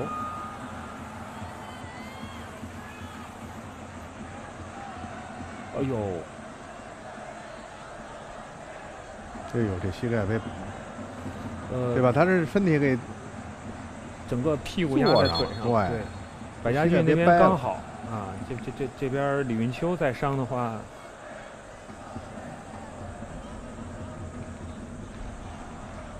张路能踢，对吧？张路能踢，多久没踢了？这，嗯，这还没大问题，对吧？他估计是是还是有点儿，因为那一下啊，这是挺翻的。如果肌肉力量不够的话，真是很容易。这个 膝盖掰了。嗯，你看李帅戴这袖标奇怪吧？来自哥伦比亚的这样李帅。啊啊，那是莫雷诺给的是吧？嗯。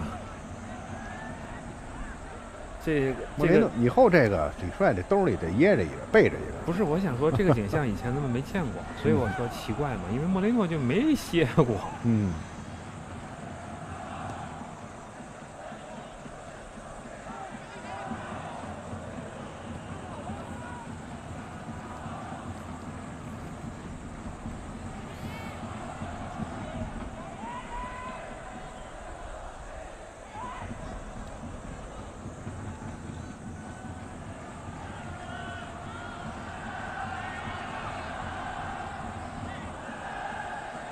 区里三个点等，但是禁区外没有任何人来接，交到吴兴涵，吴兴涵出来接一下，做回来，王彤传进去头球，哎呀，还有机会再打，门前又被解围了。实际上，如果鲁能，我觉得再打再扳一个，对吧？我觉得第二回合还真是有悬念，你觉得呢？你再扳一个二比三啊，那你还是到了客场要进三个，好点啊。呃，进三个的同时可以允许丢两个，但是我觉得在客场进三个这个目标有点 大，有点大是吧？倒不在于说你净胜几个，你哪怕三比三，我觉得这也有点悬。再看看啊，高球，你看摘得很稳当。所以这个两回合的比赛，你主队一上来给人那么多客场进球，那真是灭顶之灾啊！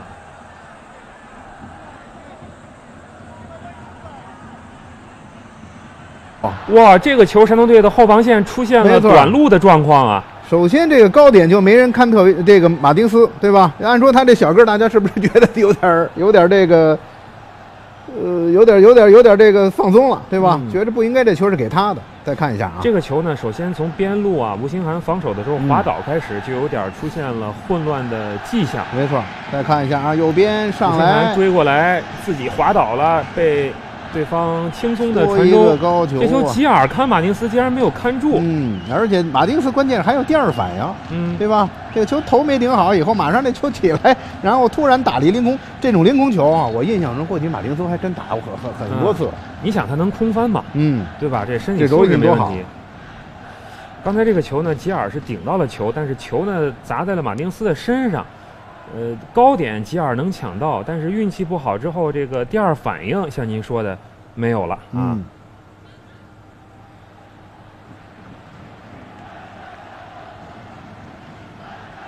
上一场联赛申花呢，关林不上以后，他中场确实有很大的问题。嗯啊，那个中场控球不好，而然后莫雷诺还要进攻，这一下就不行了。所以我我我感觉这场球。他中场包括后场稍微得有一个变化才行。对，而且你他上双前，就是双外援这俩人不可能把一个外援放在边上，他肯定让他打这个双快。莫雷诺的位置啊，你看今天也很靠后啊，他基本上都在孙世林的身后。呃，这样的一个阵型呢，看起来还是对防守在现有的可能登场的人员的基础之上，还是非常重视防守的。呃，开场进球，在客场进球那么快，在整个的一百八十分钟的这一回合比赛的胜负的天平上，应该说申花已经占到了优势。好球，李松义送到禁区里面，崔维再给这球，崔维还是应该更大胆一点。莫雷诺啊，前面俩莫雷诺，你看拿球以后就示意特维斯你往前走，但是特维斯没走，对你走这球给出去了。嗯，特维斯也不满意，说你早给我。你你看你看你看马丁斯这次，对吧？来了又来了，哎呦，对吧？真差不多，但是特维斯干不了这活马丁斯这一趟反击冲了五十米，特维斯在原地没有任何的位移啊！这两个完全不一样的前锋。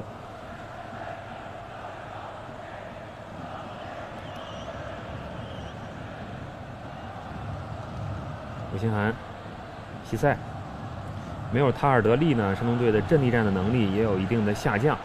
还是现在又比分落后，看看怎么样摆脱这个困境。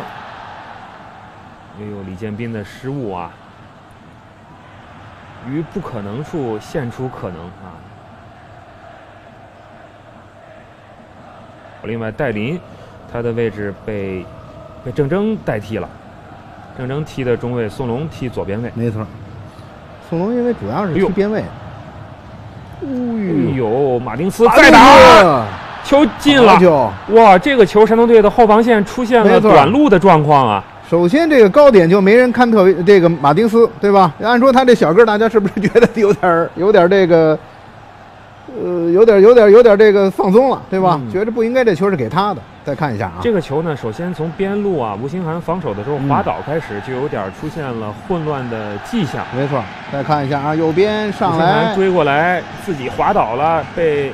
对方轻松的传中，这球吉尔看马丁斯竟然没有看住。嗯，而且马丁斯关键还有第二反应，嗯，对吧？这个球头没顶好，以后马上这球起来，然后突然打了一凌空，这种凌空球啊，我印象中过去马丁斯还真打过很很很多次。你想他能空翻吗？嗯，对吧？这身体素质没问题。刚才这个球呢，吉尔是顶到了球，但是球呢砸在了马丁斯的身上。呃，高点吉尔能抢到，但是运气不好之后，这个第二反应像您说的没有了啊。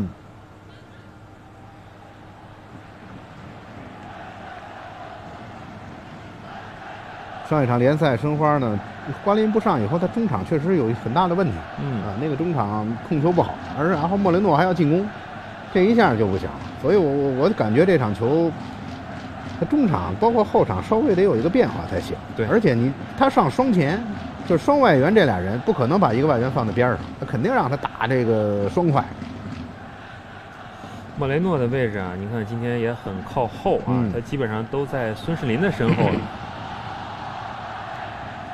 呃，这样的一个阵型呢，看起来还是对防守在现有的可能登场的人员的基础之上，还是非常重视防守的。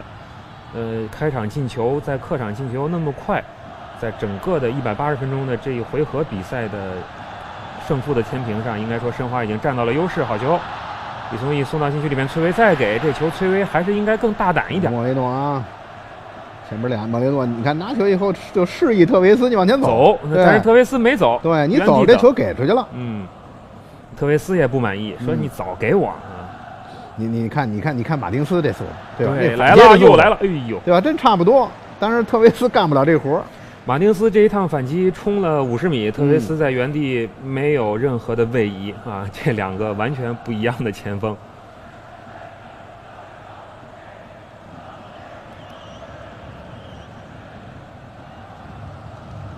吴兴涵，西塞，没有塔尔德利呢，山东队的阵地战的能力也有一定的下降，还是现在。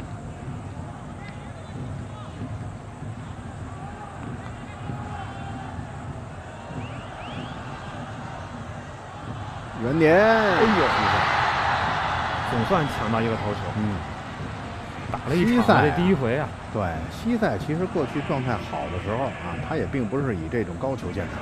你看，他也是打反击。你看，真换，真换了。张路替下莫雷诺。哎呦，那我刚才失算了。嗯，不是，你对他来说，主要是十分钟也不错啊。现在真是觉得三比一了，对吧？三比一呢，靠谱一点，又是客场。当然，我刚才那句话，要是我的话，我就不换。是。您说完了，我也同意，因为他歇了一会儿，对您没没太大的实质的意义，对不对？但是这还行，这能歇十五分钟。嗯。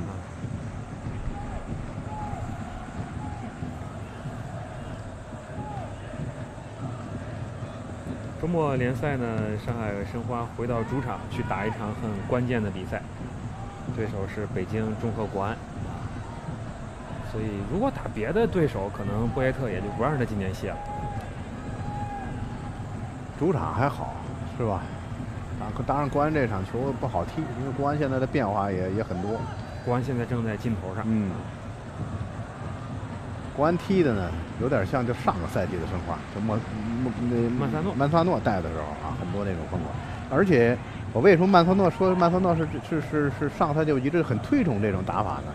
其实我看的最清楚的一场球，就恰恰是打山东鲁能那场比赛呢，也是应该是我印象中也是他的主场。给鲁能抢的真是没脾气了，对吧？这真是这高压逼抢，抢的一点脾气都没有。然后凭借莫雷诺全场死盯，对，然后呢就通过几个反击，包括莫雷诺这些球员的发挥，那那场球那场球是一比零，一比零还是三呀？我忘了啊。就那场球给我的印象特别深。反正上个赛季山东队打了三场全输了，嗯，和申花在上个赛季被完成了三杀。张璐打的就是莫雷诺那个位置，也是中场。但是我还是觉得不应该下。下呢？哎，断下来了，进行到打门。我觉得还是不应该下，对吧？下虽然没打进去，但是很危险。你在这个位置丢球，我我觉得不会少。对。但是你下呢？你有一个前提，就是其他的球员要统一思想。对对对，不在了，我们就你还要正对，还要正常发挥，对不对？别出现那个很低级的这种突然，因为队员也可能觉得，哎呦，这这个队长下了，对吧？这会儿呢，是不是会会出现一些波动？另外呢，再就是可能博耶特也是山东队最大的苦主，今天看起来有新人了啊。村里村里来了一个叫马丁斯的，这比莫雷诺更可怕，是啊，这就是你狂攻，你后边莫雷诺跟特维斯就干这活了，对吧？当然特维斯，我们在一直在讲马丁斯在这个体系里的作用，肯定比这个特维斯要好。当然这个球是传的好，特维斯给的吧？嗯，对。所以特维斯他想干一个这个莫雷诺的活嘛，但是其实可以，对吧？莫雷诺上不来的时候，特维斯就当瓜林使，然后他跟这个这个，因为他传球肯定也没什么大问题。只要马丁斯到了，球传过去了，这这就先咱们俩的咱们的这个中卫要盯莫马丁斯这种特点的球员太难了。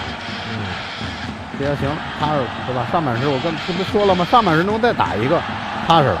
我也说了，我说这山东队还有很多时间拿来丢球啊，因为你进攻现在没有任何的一个行之有效的办法，左中右倒来倒去，你这倒好了行，你看倒丢了怎么办？对方那可有快速前锋啊。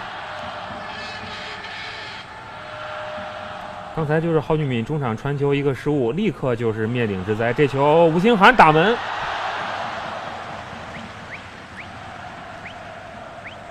嗯，远射倒也是一个办法啊，至少不用沾你那五个后卫的边儿。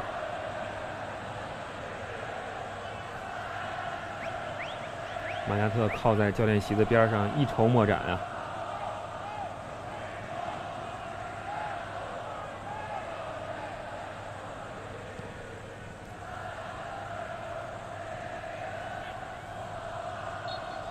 霍这马丁斯还老能争到头球。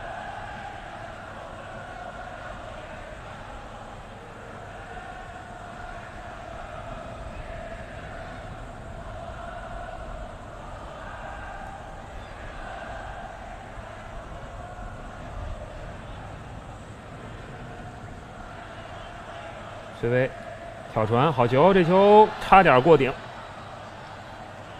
申花这边有中锋啊，啊，不是有中卫啊，是吧？仨人在这儿一围，都是仨人的球。球先出了边线。这场球适当的，山东其实考虑了一些轮换，对吧？是。但是这个轮换的效果。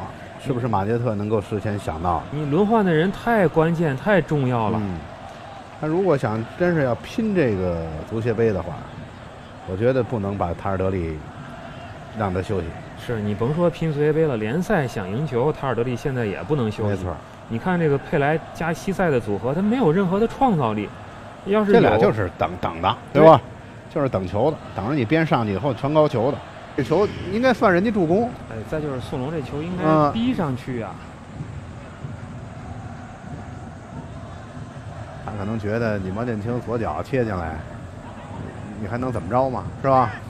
逼住你的右脚就行了。山东队第一个丢球也是宋龙一看吴兴涵倒了，他没有靠上去，而是站在离着两米在看着对方起球。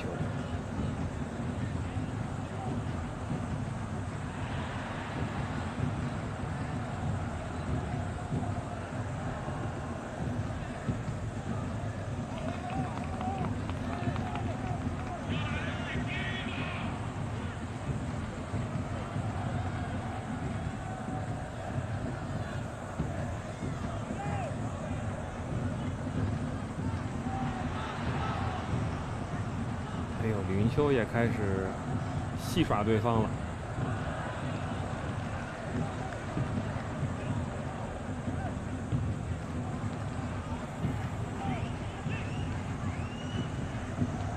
这场球拿下呢，乐观一点说，上海申花可以考虑一下足协杯决赛的事情。这个赛季呢，在通过联赛拿到的这个亚冠资格赛的名额被他们打丢了。下赛季如果能通过足协杯拿到亚冠正赛的资格，那更进一步，而且没有任何风险啊。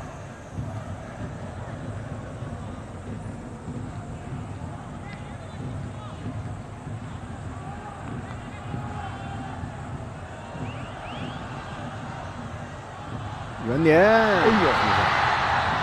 总算抢到一个头球，嗯，打了一场这第一回啊。对，西塞其实过去状态好的时候啊，他也并不是以这种高球见长。你看，他也是打反击。你看，真换，真换了。张路替下莫雷诺。哎呦，那我刚才失算了。嗯，不是，你对他来说，主要是十分钟也不错啊。现在真是觉得三比一了，对吧？三比一呢，靠谱一点，又是客场。当然，我刚才那句话，要是我的话，我就不换。是。您说完了，我也同意，因为他歇了一会儿，对您没没太大的实质的意义，对不对？但是这还行，这能歇十五分钟。嗯。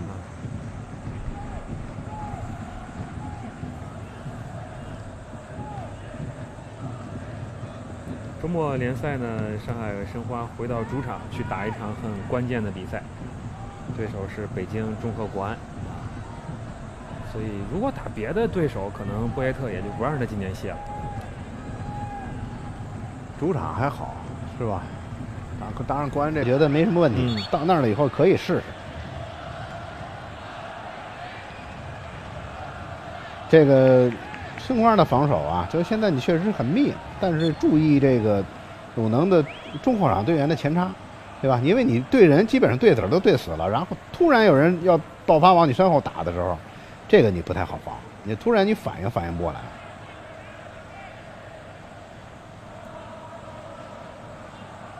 最近的十多分钟，山东队形成围攻的态势，但是呢，基本围不到禁区里边去啊。外围倒是球一直在拿，这球当心了，从阵给到马丁斯，马丁斯做回来，从阵给特维斯，没看到，这还得交给莫雷诺。莫雷诺交行了，又交给特维斯，这就是交班了，是吧？接力棒给你手里了。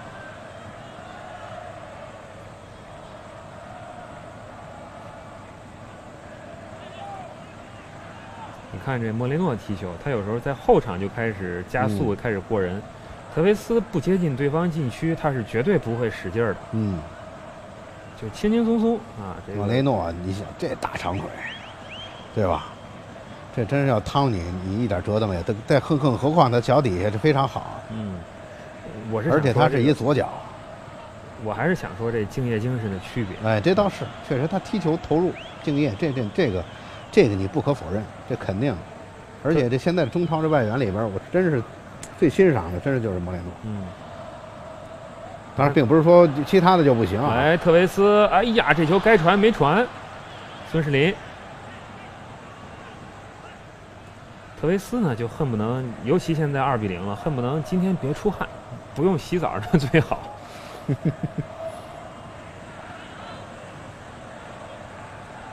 好的，哎呀，小了，对，稍微加力，这球有了。当然，这锅是不是也让特维斯背啊？那球你给劲儿大点，特维斯这个莫雷诺是不是这脚也劲儿大了？特维斯那下给的那就很轻松，就没想着让他最后借上劲儿，然后塞这一直线。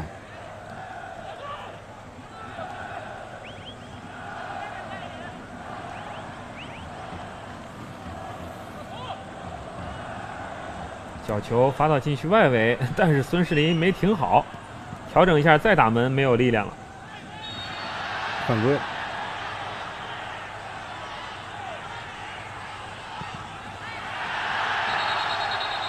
哎，镜头一转，这边出现了一点纷争，应该是吉尔想快速开球，被马丁斯破坏了，但是马宁没有给黄牌。啊。过去几年的两队的对抗当中，莫雷诺是山东队最大的苦主。今天看起来有新人了啊！村里村里来了一个叫马丁斯的，这比莫雷诺更可怕，就是啊，这就是你狂攻，你后边莫雷诺跟特维斯就干这活了，对吧？当然特维斯，我们在一直在讲马丁斯在这个体系里的作用，肯定比这个特维斯要好。当然这个球是传的好，特维斯给的吧？嗯，对。所以特维斯他想干一个这个莫雷诺的活嘛。但是其实可以，对吧？莫雷诺上不来的时候，特维斯就当瓜林使，然后他跟这个这个，因为他传球肯定也没什么大问题。只要马丁斯到了，球传过去了，这这就先咱们俩的咱们的这个中卫要盯莫马丁斯这种特点的球员太难了。嗯，这要行，踏实是吧？上半时我跟这不说了吗？上半时能再打一个，踏实了。我也说了，我说这山东队还有很多时间拿来丢球啊，因为你进攻现在没有任何的一个行之有效的办法。左中右倒来倒去，你这倒好了行，你看倒丢了怎么办？对方那可有快速前锋啊！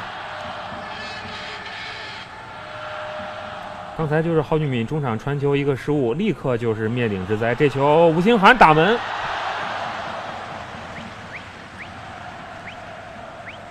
嗯，远射倒也是一个办法啊，至少不用沾你那五个后卫的边儿。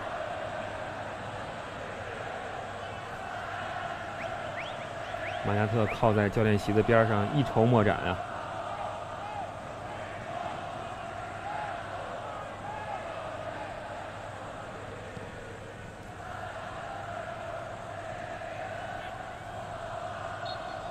我这马丁斯还老能争到头球。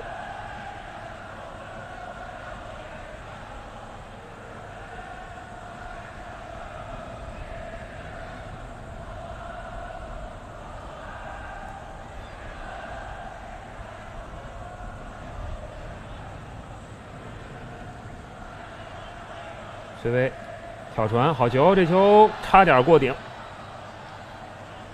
申花这边有中锋啊，啊，不是有中卫啊，是吧？仨人在这儿一围，都是仨人的球。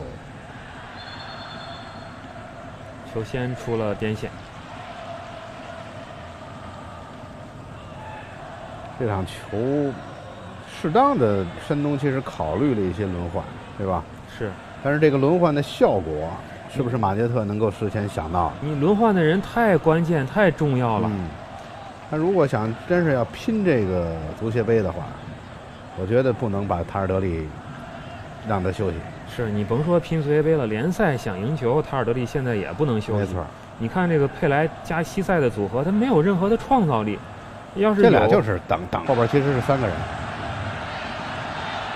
戴林，这是戴林吧？西塞，当时，然后你看他的中场，对吧？中场是王彤拖后，他的身前是金京道。好球，郝俊敏。哎呦，这个球没打。漂亮，又转一圈传回来。哎呀，这个球郝俊敏是不是该打呀？他 右脚这个位置不好转这个弧线。嗯。金京道今天状态相当好，刚才有漂亮的过人，这又是一记妙传。嗯当然，郝俊敏这脚过人也很漂亮，是吧？三百六十度原地回旋。呃，中场休息，咱们说马来说必须要做调整。对，而且呢，就是放弃。对对对，而且你这个调整还得就极端一点。哎呀，这是谁呀？球没顶好。看吴兴涵的位置啊，是吧？基本上现在是攻守的这个任务，现在都给他了。再打高球，回来，佩莱罕见的一个加速跑把球拿住。这边吴兴涵，中间金明道，再交佩莱，三个人连续传递，但是还是拉不动对方的防线。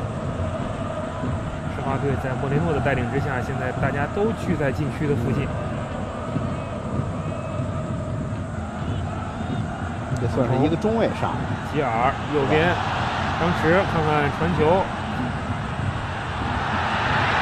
还是不太准。另外一侧还有，禁区里面有点混乱，这球并不会给点球。孙世林球又丢了，这球其实他不该带，但是但是他这球也不好处理，是吧？吴兴涵连续的进攻，这次你看啊，这佩莱真是原地抢点，他他不太能冲抢。犯规了，戴林勾倒了特维斯。戴林还真是换的李忠义，是吧？然后呢，可以这么算，其实上了就上了仨，上了仨，但换谁不换谁的无所谓，位置上肯定是不一样。撤掉了两个边后卫，一个边前卫，这就是真是上半时零比二，下半时真得有点极端的这种变化。嗯，从人员一下上了仨，对吧？全换了。再有呢，阵型也也有一些变化。因为你零比二和零比三、零比四这是一样的，你哪怕一比二，你可能下一回合也很困难，所以必须全换，而且整个阵型也要大动。嗯，当然了，如果你现在上有一个塔尔德利的话，能变得小一点。咱就别想塔尔德利，没没用。这就是你你你上半时确实没想到申花队这，我估计也是马加特是没想到这个阵型，而且人家发展的很好。下半时马上以其人之道还治其人之身，李兴涵，小球，现在看起来这。